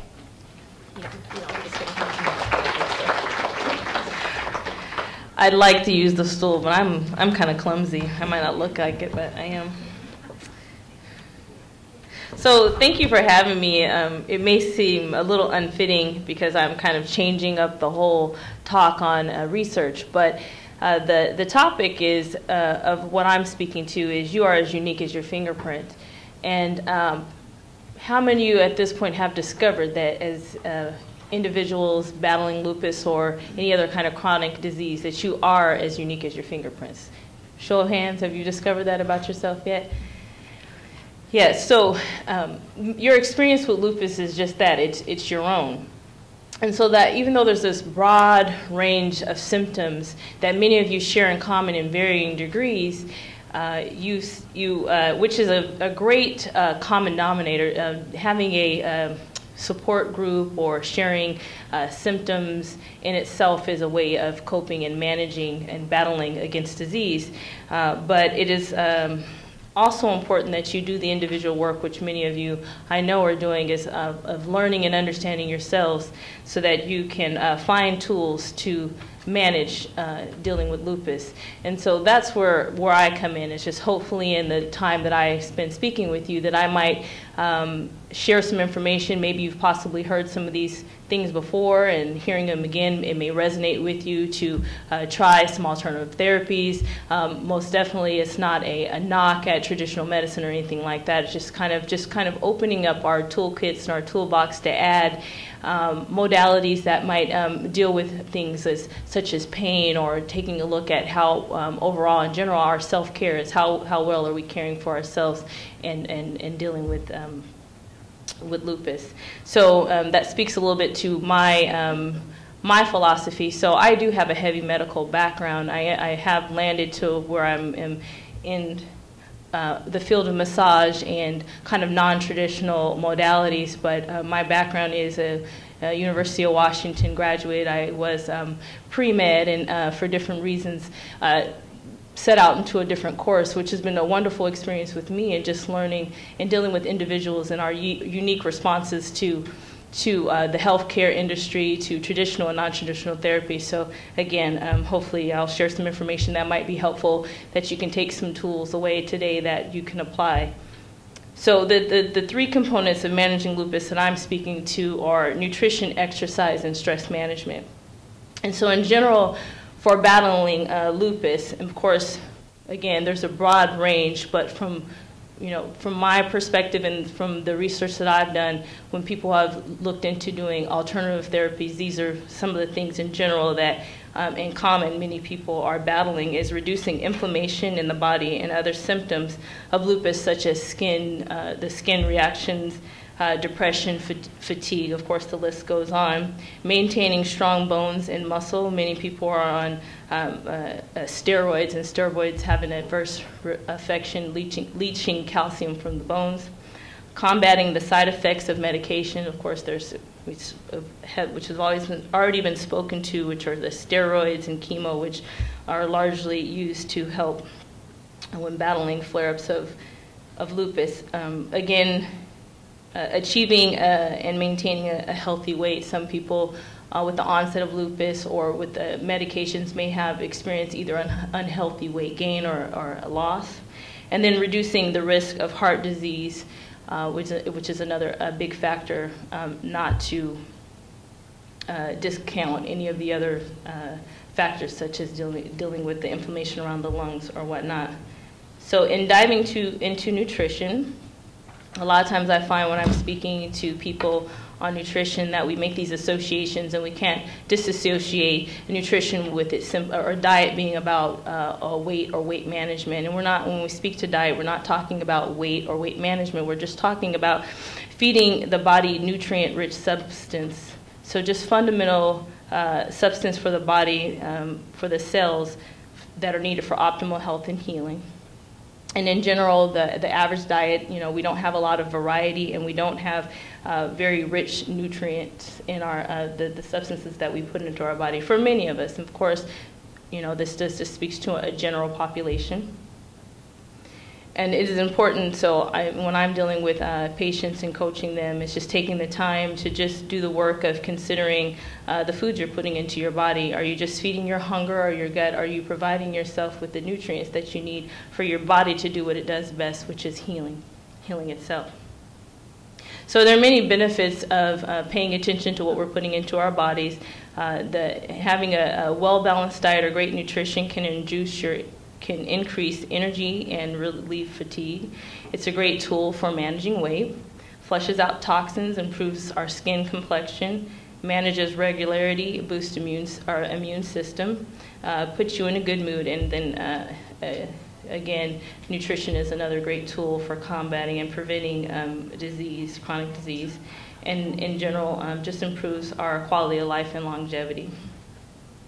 So I'm often asked um, by many that I work with, like, you know, how do we get started? And I say, take an honest approach of where you are, an assessment as far as uh, your eating. It can be really helpful to keep a food journal. Sometimes it's um, not necessarily what you're eating, it's, it's uh, when you're eating, how much you're eating. Uh, um, sometimes people drink their calories and not really taking much food in. Um, and then if you're keeping a food journal, just to kind of give yourself a look at, you know, how am I taking care of myself? What am I putting into my body? Um, look at the time of day that you eat. You want to you want to track that. You want to also track your uh, your uh, write down how you feel after you eat. That can give you a good information about the macronutrients that you put in your body. Maybe there was too much protein or uh, a little too much sugar in it. So those kind of informations um, information help. And then also you want to aim for balance. I, I, I, say most times you'll hear eat from all five food groups, but I'm kind of I'm not a big dairy promoter, so I um, tend to say you know you want your protein, you want fruit and vegetable and whole grains, and then you know a variety. Be willing to try new things, new foods, kind of expand. A variety is really important. We, our bodies often get bombarded by a lot of the same foods, and then you find at the food industry they find something cheap like soy or uh, wheat or corn and it's in everything. And I was just sharing with a friend how I see kale all of a sudden now. It's like kale is the new the food fad. it's like kale is in everything. I've been drink. I well I don't drink them as much because they tend to have a lot of sugar. But you know the Odwallas and naked. It's like now there was kale. It used to just be uh, spirulina, wasn't kale. But you know I kind of I laugh at that because I say wow you know here we go again. and you know and and it's and it, and it can happen. I've seen people develop um, food intolerance to something as simple as tomatoes because they just ate them all the time in our bodies. You know, after a while, you know, it, that's why variety is important. It doesn't. It starts to recognize it as something harmful uh, to the body. So, uh, in dealing with lupus, there are some pretty important foods to avoid. Um, gluten is a, is a is really important. Of course, sodium, and sodium speaks to kind of the heart conditions and inflammation. Grapefruit, licorice, sugar, MSG, echinacea, golden seal, ginkgo biloba, ginseng, astragalus, uh, clover, alfalfa, soy, and onions. And the important thing about those uh, those four there, the clover, the alfalfa, the soy, and onions, is that they have been um, in some people they have been um, seen to cause lupus flares. So they contain uh, an amino acid called L-canavanine, and um, so those are why those are listed there.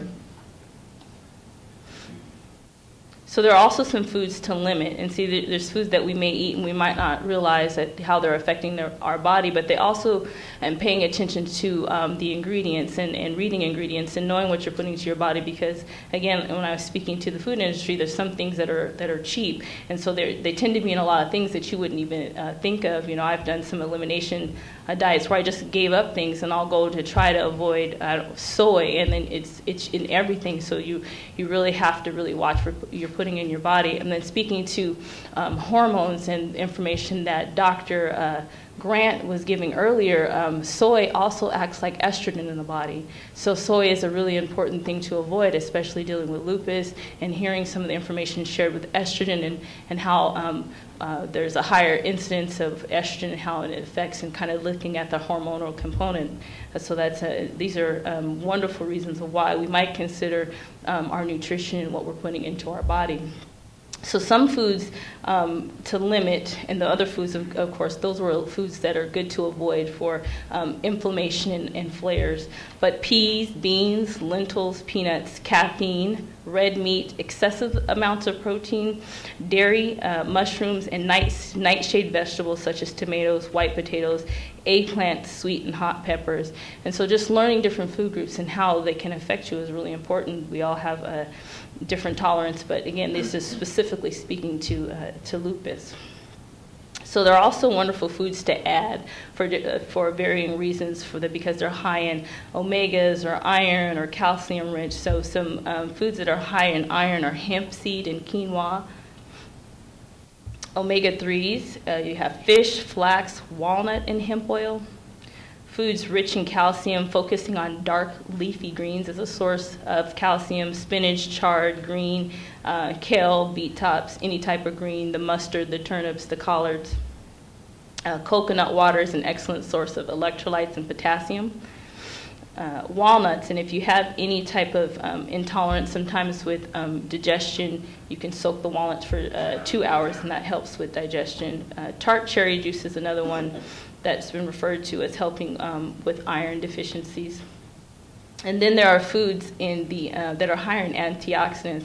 And I always kind of give, uh, these are our quote unquote superfoods. And I think it's really important when we talk about superfoods that we look at the word super because sometimes when we're um, looking at it, we see the misnomer of the mystical power of super. The superfoods really aren't super that they do have a curative or do anything special to the body. They're just super because they're higher in antioxidants. And anti- antioxidants are really great because they protect our body from free radicals that damage the cells in the body. So they're really no superhero or super fix, but they're great because they have great um, um, properties such as anti-inflammatory properties, great for iron or energy. And to speak to a few, of course, we've heard of blue. Many of us have heard blueberries and pomegranate are high in antioxidants or superfoods. Uh, but specifically for inflammation, there's maca powder, chlorella, and golden berries. For iron, Turkish berries, or excuse me, Turkish mulberries for energy, goji berry, uh, mac, uh, and acai powder.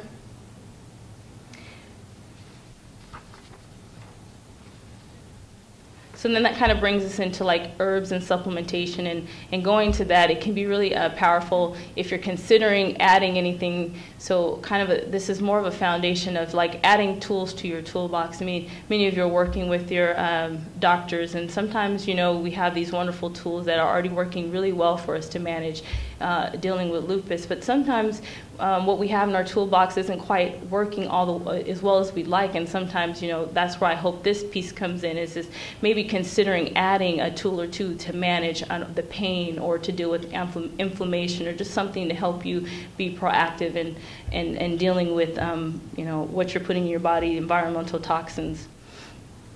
And so that being said, um, if you um, a lot of times working with a naturopath, um, that can also work with your practitioner, your primary doctor, because when you get into supplementation and vitamins, um, you have to worry about um, you know adverse reactions and making sure that someone's aware of the medications that you're taking and making sure that there's no um, interaction there. Um, and there's some wonderful integrative type um, institutes out there. Uh, the Institute of Complementary Medicine, I have um, personally some clients that I work with that have um, serious health conditions, and they've, they've found it very powerful to kind of have advocates on both sides. They want to explore non traditional therapies and dealing with their pain or, or you know, other things going on with their body. So uh, those are some uh, great avenues, and there's, there's more uh, you know, uh, resources out there as far as um, kind of an East meets West philosophy. But vitamins that can be very helpful when dealing with lupus are uh, vitamin D, uh, calcium, magnesium, folic acid, B13, B6, and DHEA. And then herbs, um, of course, again, working with a professional to make sure that you have access to a high quality pharmaceutical grade. And usually they'll come in a tea or capsule form. And so there's some great um, herbs for dealing with inflammation, boswellia, uh, feverfew, devil claw, ashwagandha, and nettle. And if you're dealing with pain, there's uh, pau de arco, and uh, just a good general detox for the body is uh, burdock. So another component of dealing, which which I find, if you look across the board, and uh, my passion is prevention, so I'm often um, dealing with trying to uh, reach populations that are disproportionately affected by chronic disease, and African Americans, Hispanic, Native Americans. Those are kind of our, the populations that I um, I speak to. Um, and um, another encouragement I, I wanted to uh, for um, people of color in the audience and we're listening to about research, a lot of times we're not a representative of the research that's being done.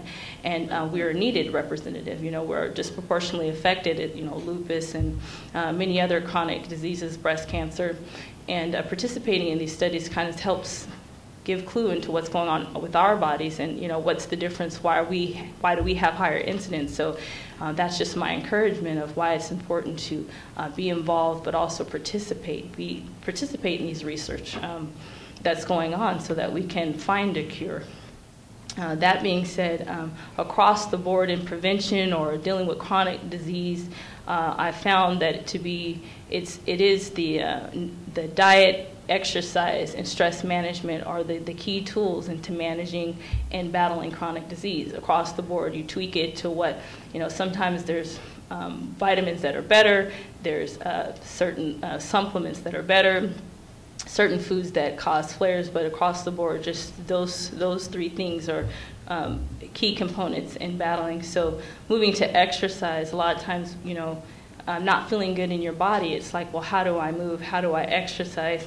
Um, and I don't get much into that, but uh, speaking on um, the exercise, we'll talk about the types of exercise and why it's important. And it's really important because in our youth we do have more elasticity and flexibility, but as we get older we, did, we do tend towards rigidity and stiffness. So uh, it's a great encouragement of, of why to keep uh, movement but exercise, again, uh, wonderful benefits, um, um, helping to prevent disease, improves, you know, appear- appearance, uh, delaying the aging process, improves stamina, posture, uh, strengthening and toning the, the, the body, the muscle, enhancing flex, enhancing flexibility, improving, uh, or a great tool for uh, weight management, and then just again overall quality of life and then um, the different types of exercise. A lot of times we just think exercise is just exercise, but there's there's uh, four different types. There's endurance, strength, balance, and flexibility, and they all have their different uh, benefits. Of course, the endurance is more of the aerobic um, exercise, getting your heart and your uh, breathing up. Um, is great for the conditioning of the heart, the lungs, and the circulatory system. And exercise, those are exercises such as jogging, uh, brisk walking, running, dancing. And then there's uh, strengthening exercise, which speaks more to our uh, bone and muscle uh, development, uh, bone density, and strengthening, and muscle development. Those are typically our strength training and resistance training, uh, lifting weights, uh, using your own body weight, using bands um, for exercise. Then there's balance exercise, which is um, those are the balance is just great. I think in general it kind of seeps into just overall feeling balanced in your body, uh, feeling balanced mentally, uh, balanced in life. Balance is just kind of a key thing, uh, and it speaks to me, anyways. Um, and different, it can be simple as you know standing on one leg, um, you know, raising up on your toes and slowly lowering down. Those are different things, uh, different exercising and working on balance. Also, Tai Chi is a great exercise for balance.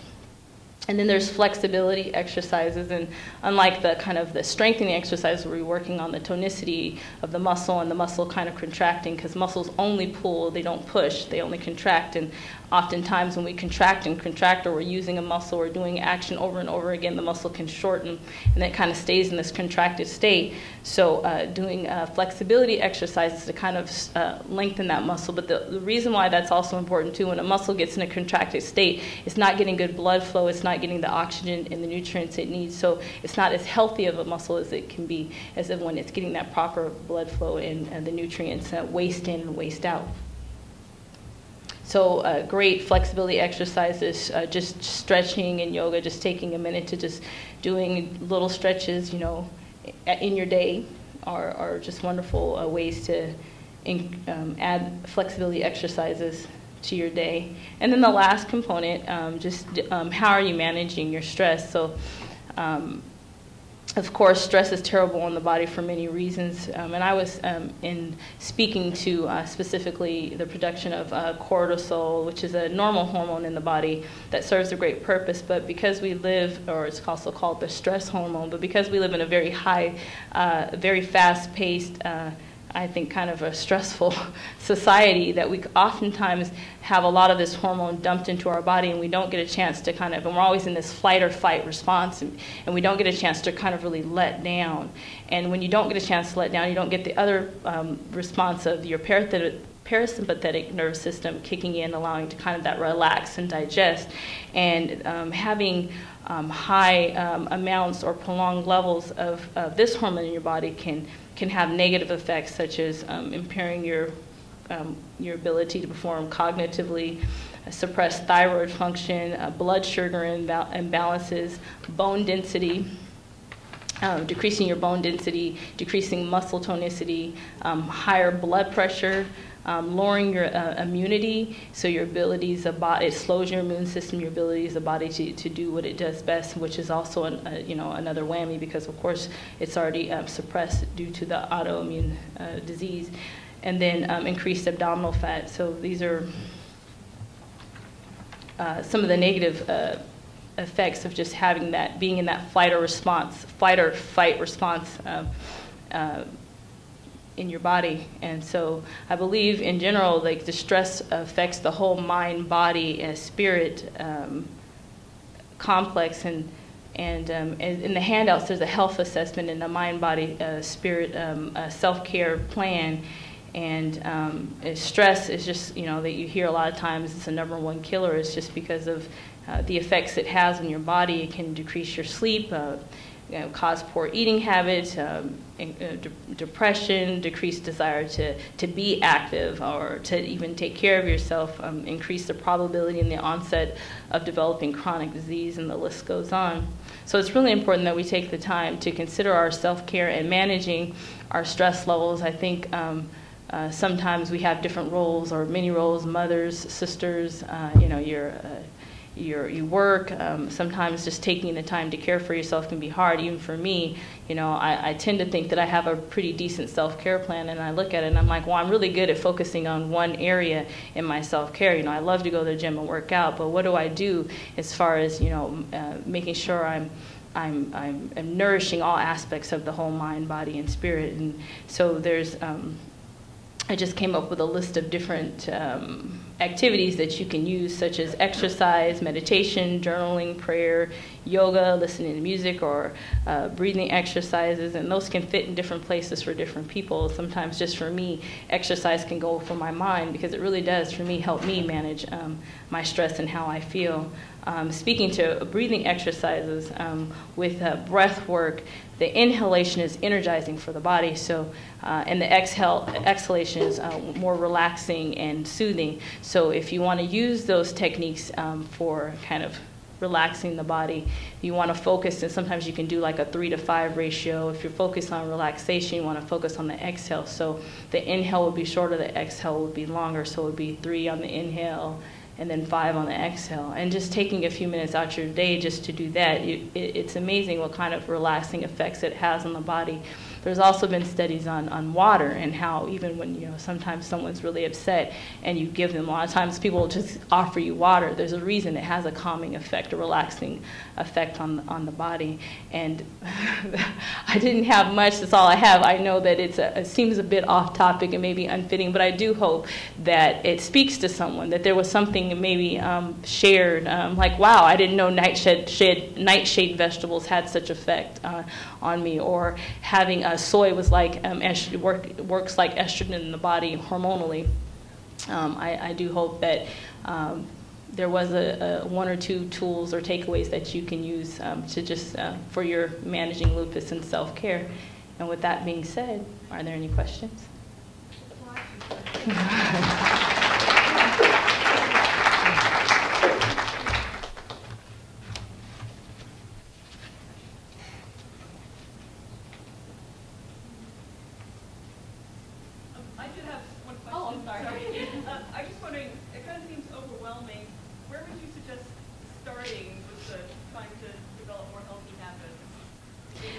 you know, I'm, I'm, I, I I feel like I'm hearing crickets, but you know, often in my experience, you know, I do work with women, and uh, and and by large, it's like where where do I begin? And and I and I do say, sometimes it can be hard. Sometimes you got to really take an honest approach of where I am, and that's where the journaling um, is, and then um, also taking baby steps. I think we overwhelm ourselves and try to quit cold turkey and say I'm just not going to do this, and it can be as simple as I'm going to drink more water every day, or I'm going to um, increase my fruits and vegetables. You might notice that uh, you have a tendency to go for the grains the most because they're filling and easy, and carrying fruits and vegetables more is more difficult. So then, just starting by carrying a, a, a fruit and um, a vegetable with you, carrying snacks with you, so that you have access to to the foods that you like, um, you know, to the to the healthier options. Because we, I think we at large are in a society where we don't have access to healthy options, and we so we have to make sure that we kind of plan and, and carry those. And then it can be um, because it's overwhelming, and uh, I think it's nice to, to if you can um, either have an accountability partner, someone who kind of is either good at modeling what you'd like to do, um, that can encourage you, or finding someone who's just you know you know just kind of say how did it go today, you know, or uh, I need some ideas. What what are some changes that I can make? So I, just starting small, making baby steps. Um, yeah. Thank you for asking. Thank you for the question. Oh yeah.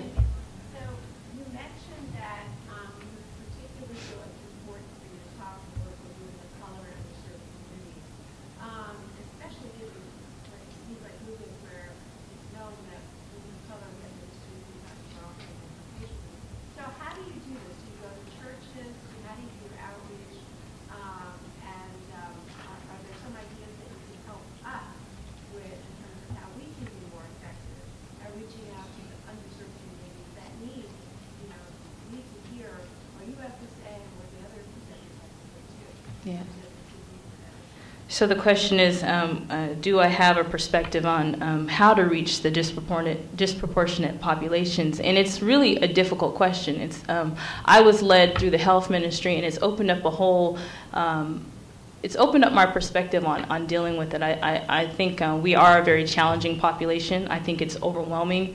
Um, I think we're not used to um, uh, advocating for ourselves and for our health um, that we, um, we have this trusting but not re- trusting relationship with our doctors. We go, we listen to what they say, we know that it's valuable, but for some reason, for cultural differences, it not resonating well with us, we, we go and we listen, but we don't take it away. We don't do what we're supposed to do. So I think it is building those relationships. I think uh, we're more trusting when it's coming from people of color, unfortunately, for um, age old reasons, um, and just, just the whole trusting factor. Um, I think the group setting is really important. I think working in faith-based organizations has been um, key and, and, needs more work needs to be done there. Working with churches and pulling churches or faith-based organizations together um, I found uh, so far in my works that working with people of color, a group setting, a group dynamic is um, better in letting someone for the group seek you out individually when they're ready to make the steps of kind of trying these new things. It can just be at large very overwhelming and um, uh, at times very heartbreaking for me because I get in front of audiences all the time and you say, well, if you do these things, and it's like the age old, okay, diet, exercise, stress management, uh, you know, nothing new I haven't heard. But the self-care component really just is not there the way it should be and, and is very needed. And the information um, is very needed. Um, I don't know that I'm answering the question, but I, I am giving a few tools and suggestions to say I do think, again, faith-based organizations, pulling them together, um, kind of trying to pull uh, larger groups that way. Um, and even then, still, it's, it's a challenge. Thank you.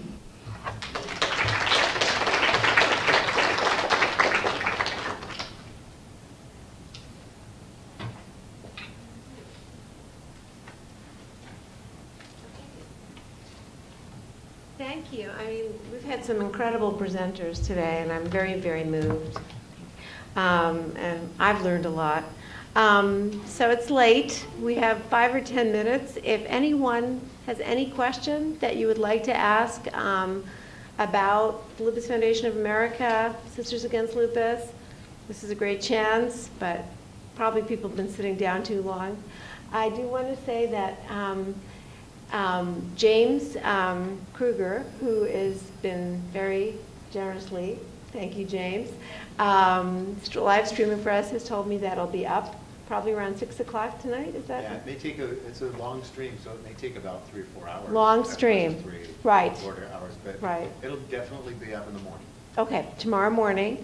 Um, Please remember to give us your surveys, okay? It's very important that we hear from you because we'd like to have your input about future programs. Um, And what else can I say? about? Oh, did you want to do a few interviews before?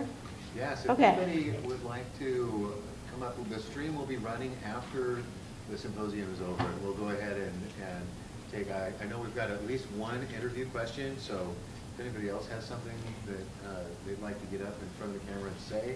We'd like uh, to- that would be out there on great. the internet, and it'll be up after this for, you know, probably years. So, your And that- chance to get out there and say something to the world. and your chance to promote lupus awareness. So, thank you. Thank you all so much for coming. We hope we see you again very soon. Okay.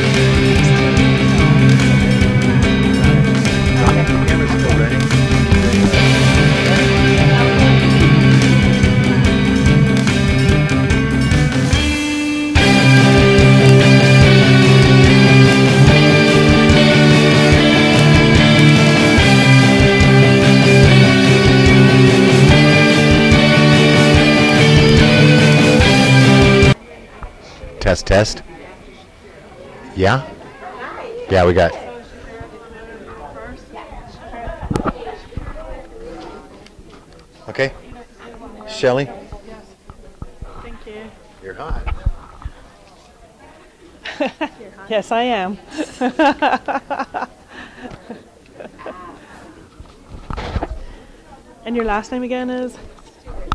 Thank you. Let me know when your camera is ready, James.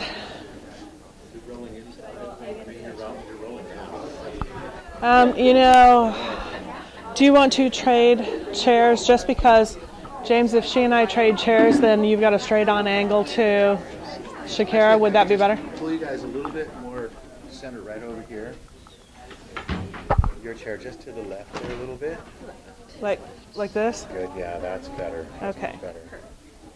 Okay, you're in. Is this good? I got you. I got you both in the frame. You're good to go. I'm Shelley Dudley, and my guest today is Shakira Stewart. Hi, Shakira. Can you tell me a little bit about uh, why you're here today? I'm here today because I was diagnosed. Should I be holding this? Ahead. I was here. I'm here today because I was diagnosed with lupus when I was 14 years old. It's systemic lupus. What is it? Eryth- erythematosus. and I had symptoms like the malar rash across my cheeks, um, achy joints in my hands, especially muscle soreness, fatigue. I had rapid hair loss. I lost a lot of it. That's why it's short now. And I moved to Washington because there's less UV rays that'll make my symptoms less prominent. So these symptoms sound like they're totally unrelated to each other. Was it difficult for the doctors to diagnose you? No, it took about two days for them to actually diagnose me. What happened was all of these I thought were unrelated, so I didn't see the doctor until I couldn't move my hands in the morning. So the doctor put it together pretty quickly, actually. They said, We're just going to test you to make sure some things like lupus or something like that isn't the problem. And it came back the next two days later or so. And they got me right on it and diagnosed. That's excellent. So a good medical team supporting you? Yeah, it was over in El Paso, Texas. So they didn't have many experts up there, but the people did know. uh, For whatever reason, they knew. And how long ago was that?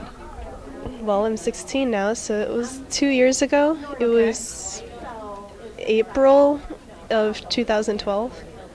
And so you've been living with lupus for two years or more now that you're aware of. And what has that meant to your life?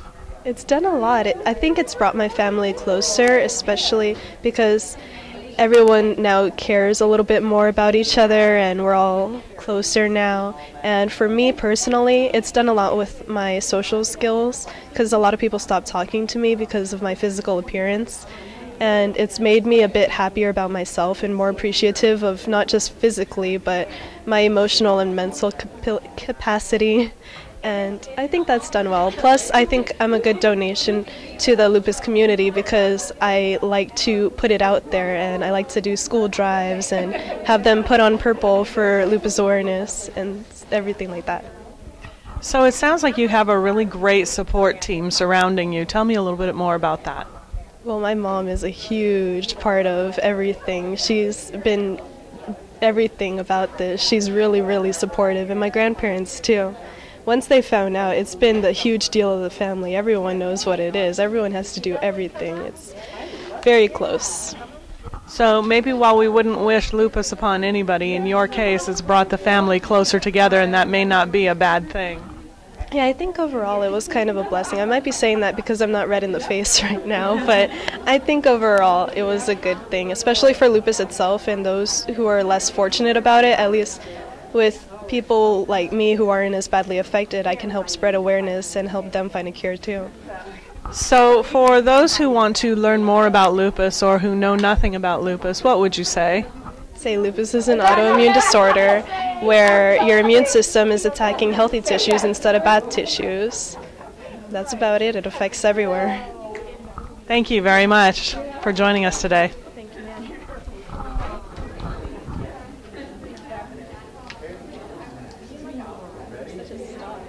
You are a star. Thank you for joining us. Did you want to say anything like hi, mom? She's right there, but oh. She wants it again. Okay, so now we have. Lupus rep. I guess. All right. Well, nice job. And now we have Shelia Gomillion. Shelia Gomerian. Gomillion. Gomillion. Okay. And we've got her next. Thank you. Thank you, sir. Nice to meet you. Take care. Now, did you say Shelia? Shelia. What a beautiful name. I'm Shelley Dudley, and today we're here with Shelia Gomelian. Shelia, tell us a little bit about why you're here today. I am here today in support of LFA and to um, see what's new out there um, as far as the doctors and the scientists and the things that they're coming up with. Now, for those who have no idea what LFA stands for, can you give us a bit of a clue? It is the Lupus Foundation of America, and today this is presented by the Pacific Northwest chapter. Um, I've been a part of the chapter now for, I believe, about 10 years. So That's quite a long time. What drew you to becoming involved with the Lupus Foundation of America? Um, just finding out that I once once I was diagnosed with lupus, um, wanting to be an advocate, and so I'm blessed to say that each year I've gotten stronger as, as far as advocacy goes, and um, so I'm still striving to be a better advocate for myself and for other lupus patients. So, what does being an advocate for the Lupus Foundation mean to you? What it means to me is that um, I talk about lupus no matter where I go, whether I'm in the grocery store or at the gas pump. Um, I'm always asking, "Have you heard about lupus?" Um, and as far as within my community, um, just getting out there and spreading the word to the people of color, because I live in a very diverse small town, um, not small town, but um, an area where the outreach could be a, a lot stronger and the awareness could improve greatly. And why is this important to you? What what does it mean to you? Why why why make people aware of this? Um, I want people to be aware because I want the next generation um, to be able to have a diagnosis or to be able to possibly be cured. Um, it's it's fighting for for my grandchildren and my great grandchildren um, to make sure that they are aware and that they can um, lead the fight. So now tell me a little bit about the people that support you. A person with lupus doesn't necessarily have an easy life and a support network is quite important. Tell me a little bit about your support network. Um, my support network is awesome.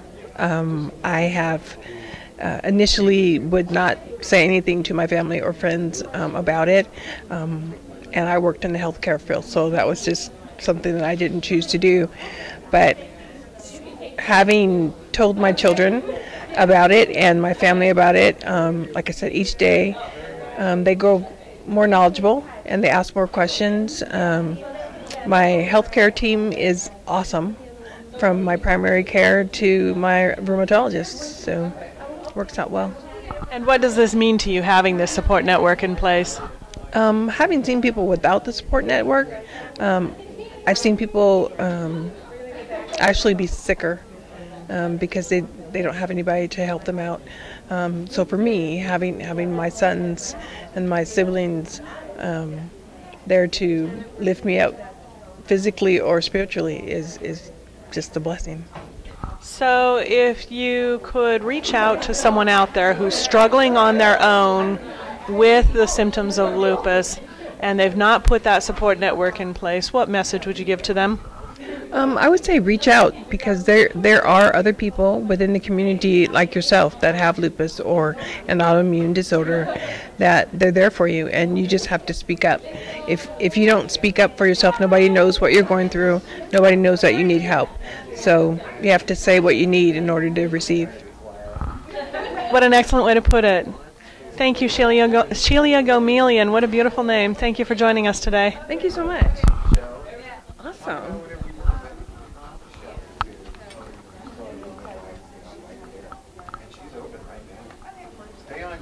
Up. Hi, how are you? How are you? Great, thank you. And your name is? Shannon. Nice to meet you, Shannon. Nice your to meet name you too. Stamper. Hi. Hi. Sort myself out here, sorry.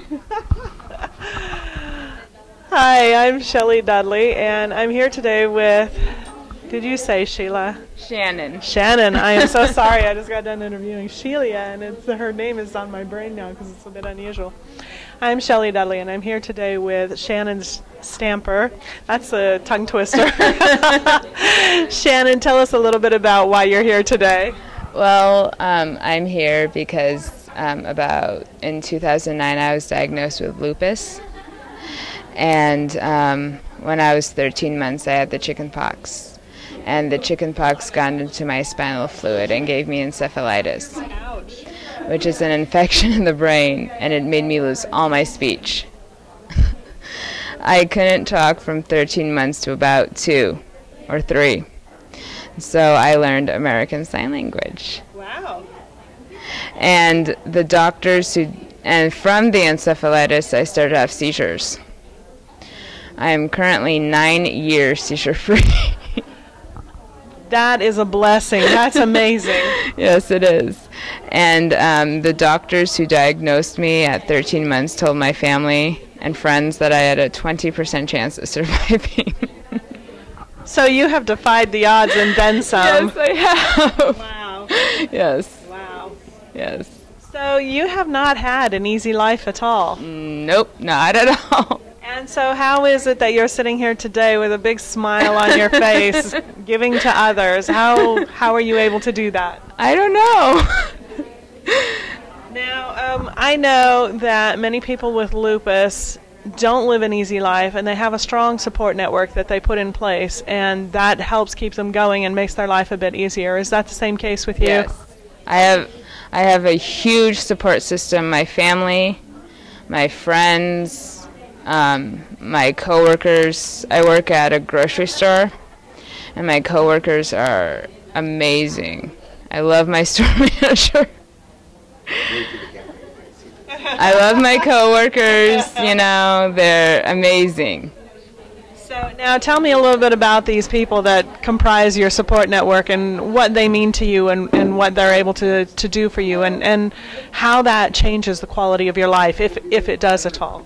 My uh, my parents have been there for me throughout my whole entire life, including my mom. My mom is the best. I mean, she uh, I mean, she gives me my shots.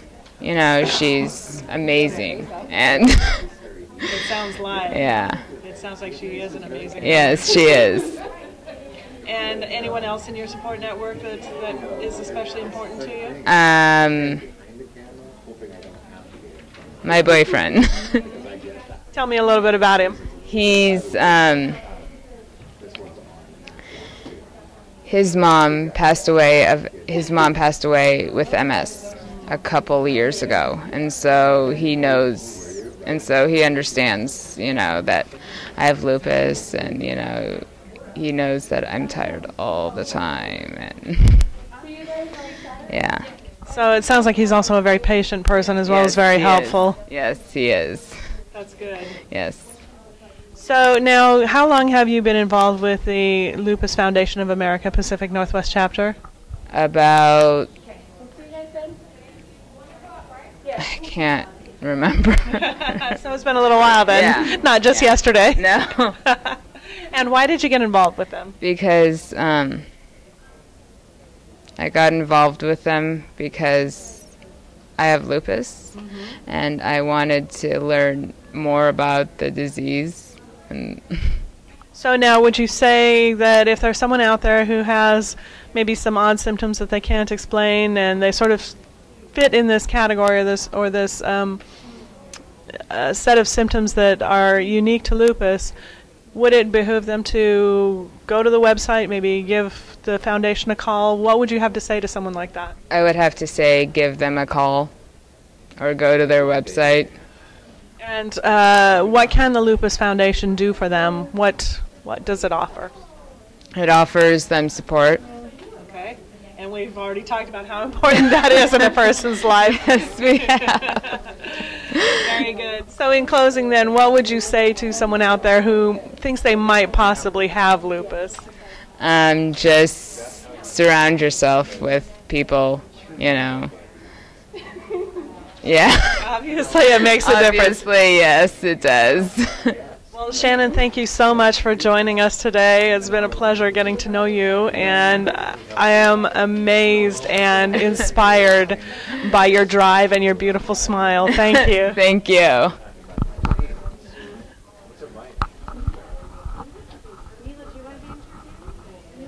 Quite a story. You wake up in the morning, is it hard to wake up? Does it make it hard to wake up? She's got quite a story. Mila, why don't you? Are you in there? I guess. can, we, yeah. can we do like a Michael Jackson and blur my face? I promise not to bite. You look way better than Michael Jackson. yes. You're safe. And your last name is Tyrell. Thank you. I'm Shelley Dudley, and I'm here this afternoon with Neela Tyrell. And Neela, tell us why you're here today. Well, I work here. great. for one, no. Um, I am a part-time staff for the Lupus Foundation of America, but I've also had lupus since I was five, and and the past two weeks I was recovering a really bad flare. So I've had a flare for about six weeks, and now I have a cold. so Poor thing. Now, for those who aren't necessarily familiar, lupus attacks the autoimmune system. Is that correct? Yes, we call it. Um, it's like a uninvited guest in your home. You know, they come, they tear up your home, and you know you want to keep them there, but then you want to get rid of them. You just don't know how. So that's kind of a way we describe it. So then, if your immune system has been compromised, this is how you became ill over the last couple of weeks. Is that? Yes, definitely. Well, it's nice to see you feeling a little bit better and being up and about and joining us today. So now, if you work part time for the foundation, you must very much believe in what the foundation does. Tell us a little bit about the foundation and how it can help someone. So our mission is to help people affected with lupus, and my area is I'm the one who answers the phone. I talk to you. I do all of our data entry, and to me, honestly, it's a burden and a gift to be in this foundation. I mean, I go home and I'm like worried. I'm like talking to people who were recently diagnosed, and I was like, I was there, you know, and I'm crying with them.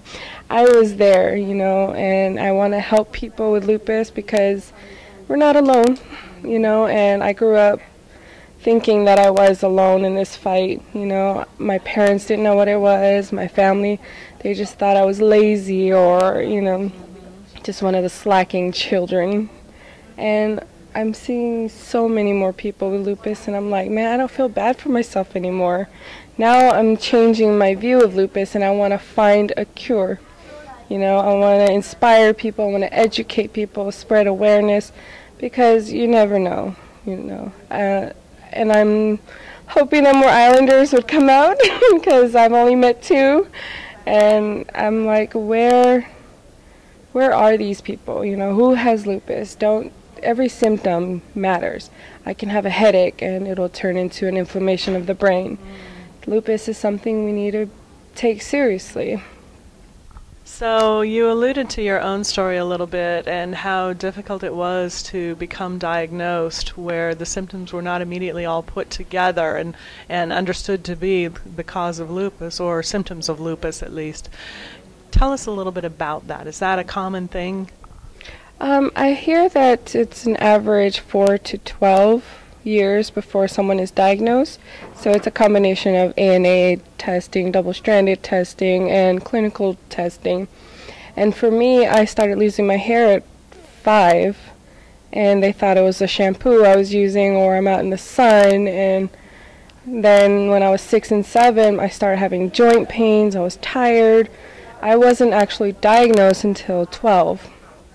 So quite a long time. it is a long time, but they had to do several testing and monitor every time I went in.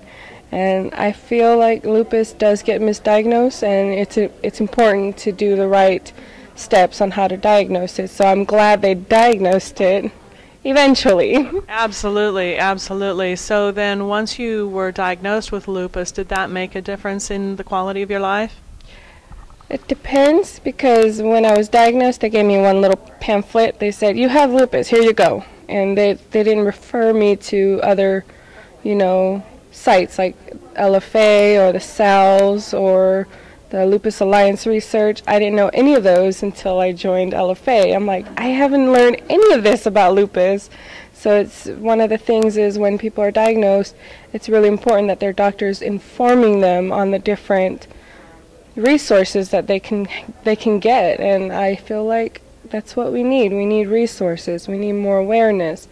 Not not many doctors know what lupus is anyway, so So this explains why you're so uh, such a strong advocate for the Lupus Foundation of America Northwest chapter because uh, I can see your passion about bringing this education to the public and to the medical community.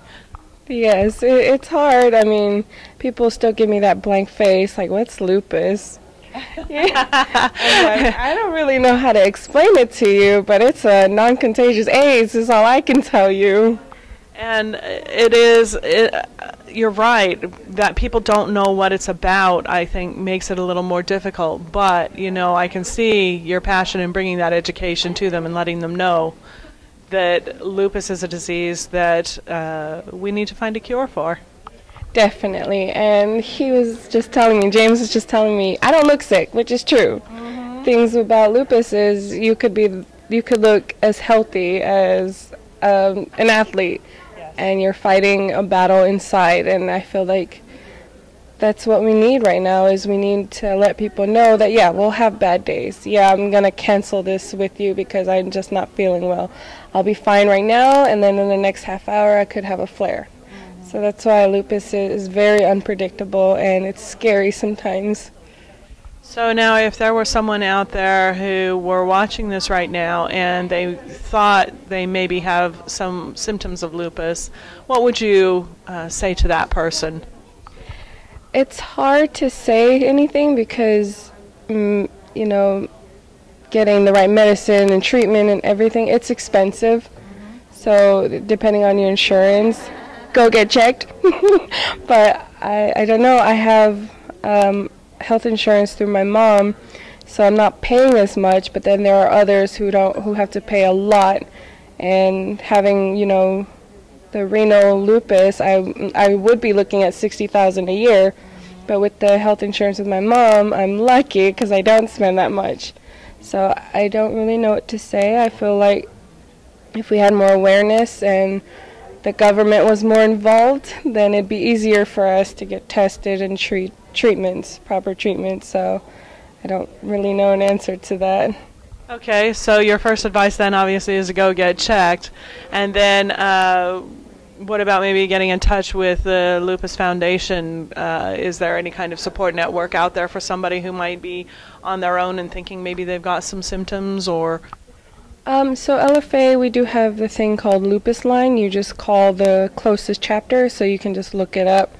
Ours is in Renton, and we go, we handle Oregon and Washington. So people call, and we find, we help them find the resources they need, from new doctors to healthcare to disability, and it's important because I didn't know any of those, and once I'm 26, I won't have my mom, so it's it's a good thing to plan ahead. Some people are lucked out because they have nothing, and it's hard to find a job with lupus.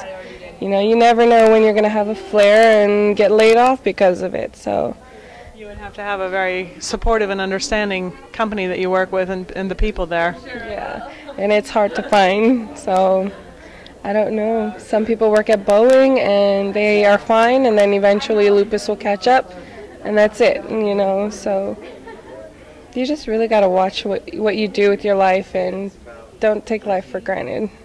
I think that's excellent advice. Don't take life for granted. Well, Neela, thank you so much for joining us today. Thank you for having me. Have a great afternoon. You too. Thank you. Thank you. Can you delete all that? No.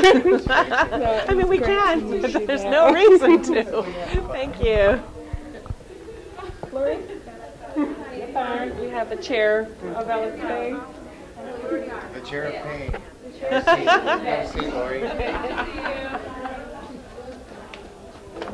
Oh, what a pleasure. I am Shelley Dudley, and I am here with a good friend of mine, Lori Campbell. And I had the pleasure of meeting Lori by happy accident one day when she came to do a radio show that I was involved with.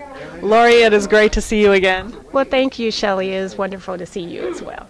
Now, what I know uh, may not be what somebody watching this knows, so tell us a little bit about your story, Lori, because um, I had the pleasure of hearing this before, but uh, you you are such a healthy looking and vibrant looking beautiful woman that I think that you have um, a hidden secret that not everybody knows. Tell us a little bit about that. Well, Shelley, you are correct. I do have a, if you want to call it that, a hidden secret. And one of the things is, is that I do have systemic bullous, what they call bullous lupus, um, converging into a couple of different other types of lupus, which is also lupus nephritis, and it's complicated by a lot of orthopedic situations. So.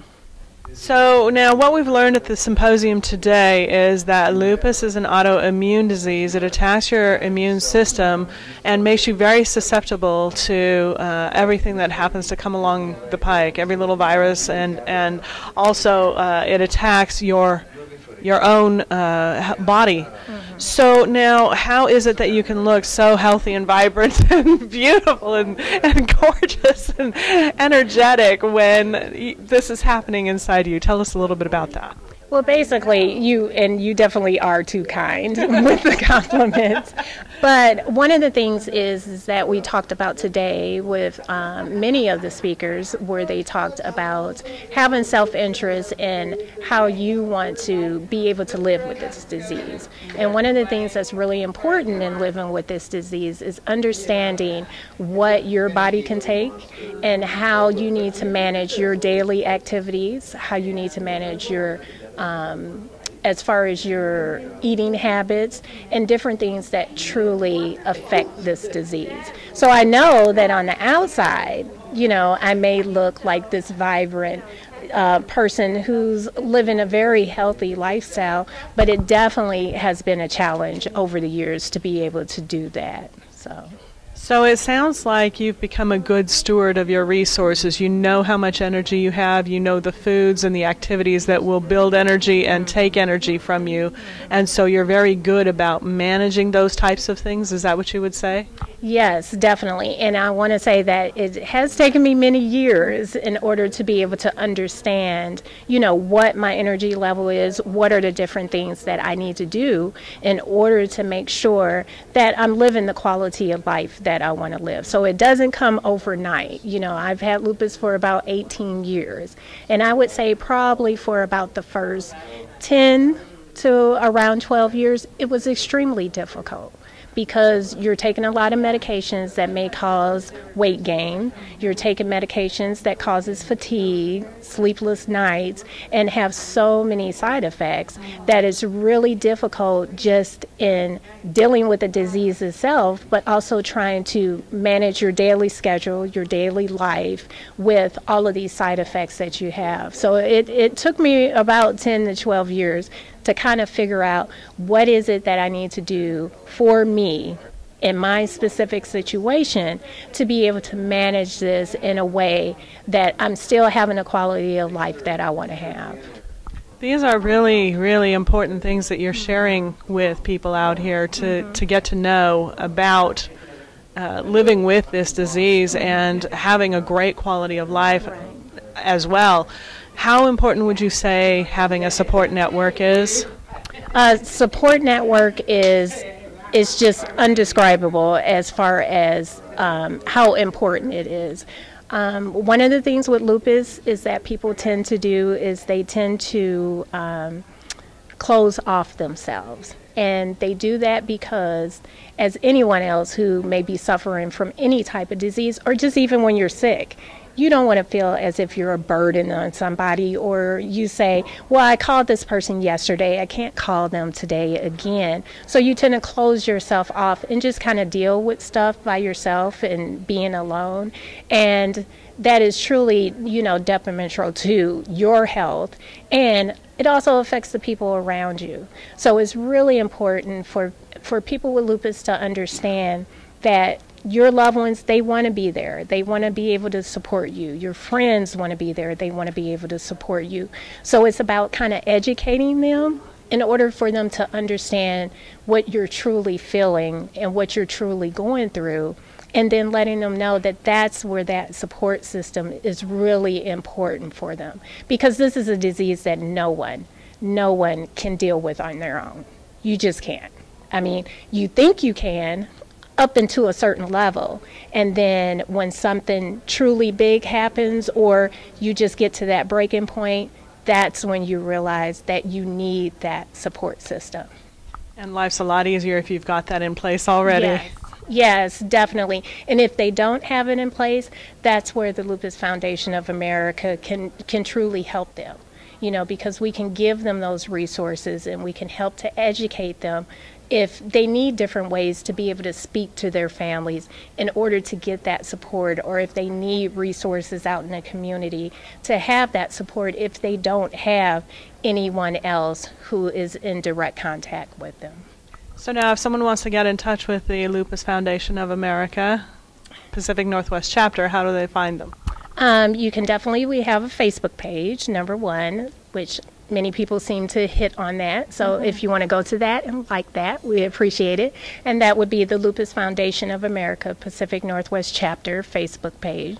We also have a 1 800 number, which is 877 774 2992 that they can call. And that's also a hotline that they can call if they just have any questions about lupus or anything of that sort. And they can also go to our website, which is www.lupuspnw.org. Well, Lori, thank you so much for sharing from your heart today. I really appreciate it. It has been a pleasure spending time with you. Well, thank you so much, Shelly. I appreciate you, and I appreciate James Kruger, who is also from Flowmotion Studios, for helping us today in getting this streamlined out to everybody so they can be able to see it. Absolutely. Thanks right. again. Thank you. You wonderful woman. Thank you. Thank you. yes, it was.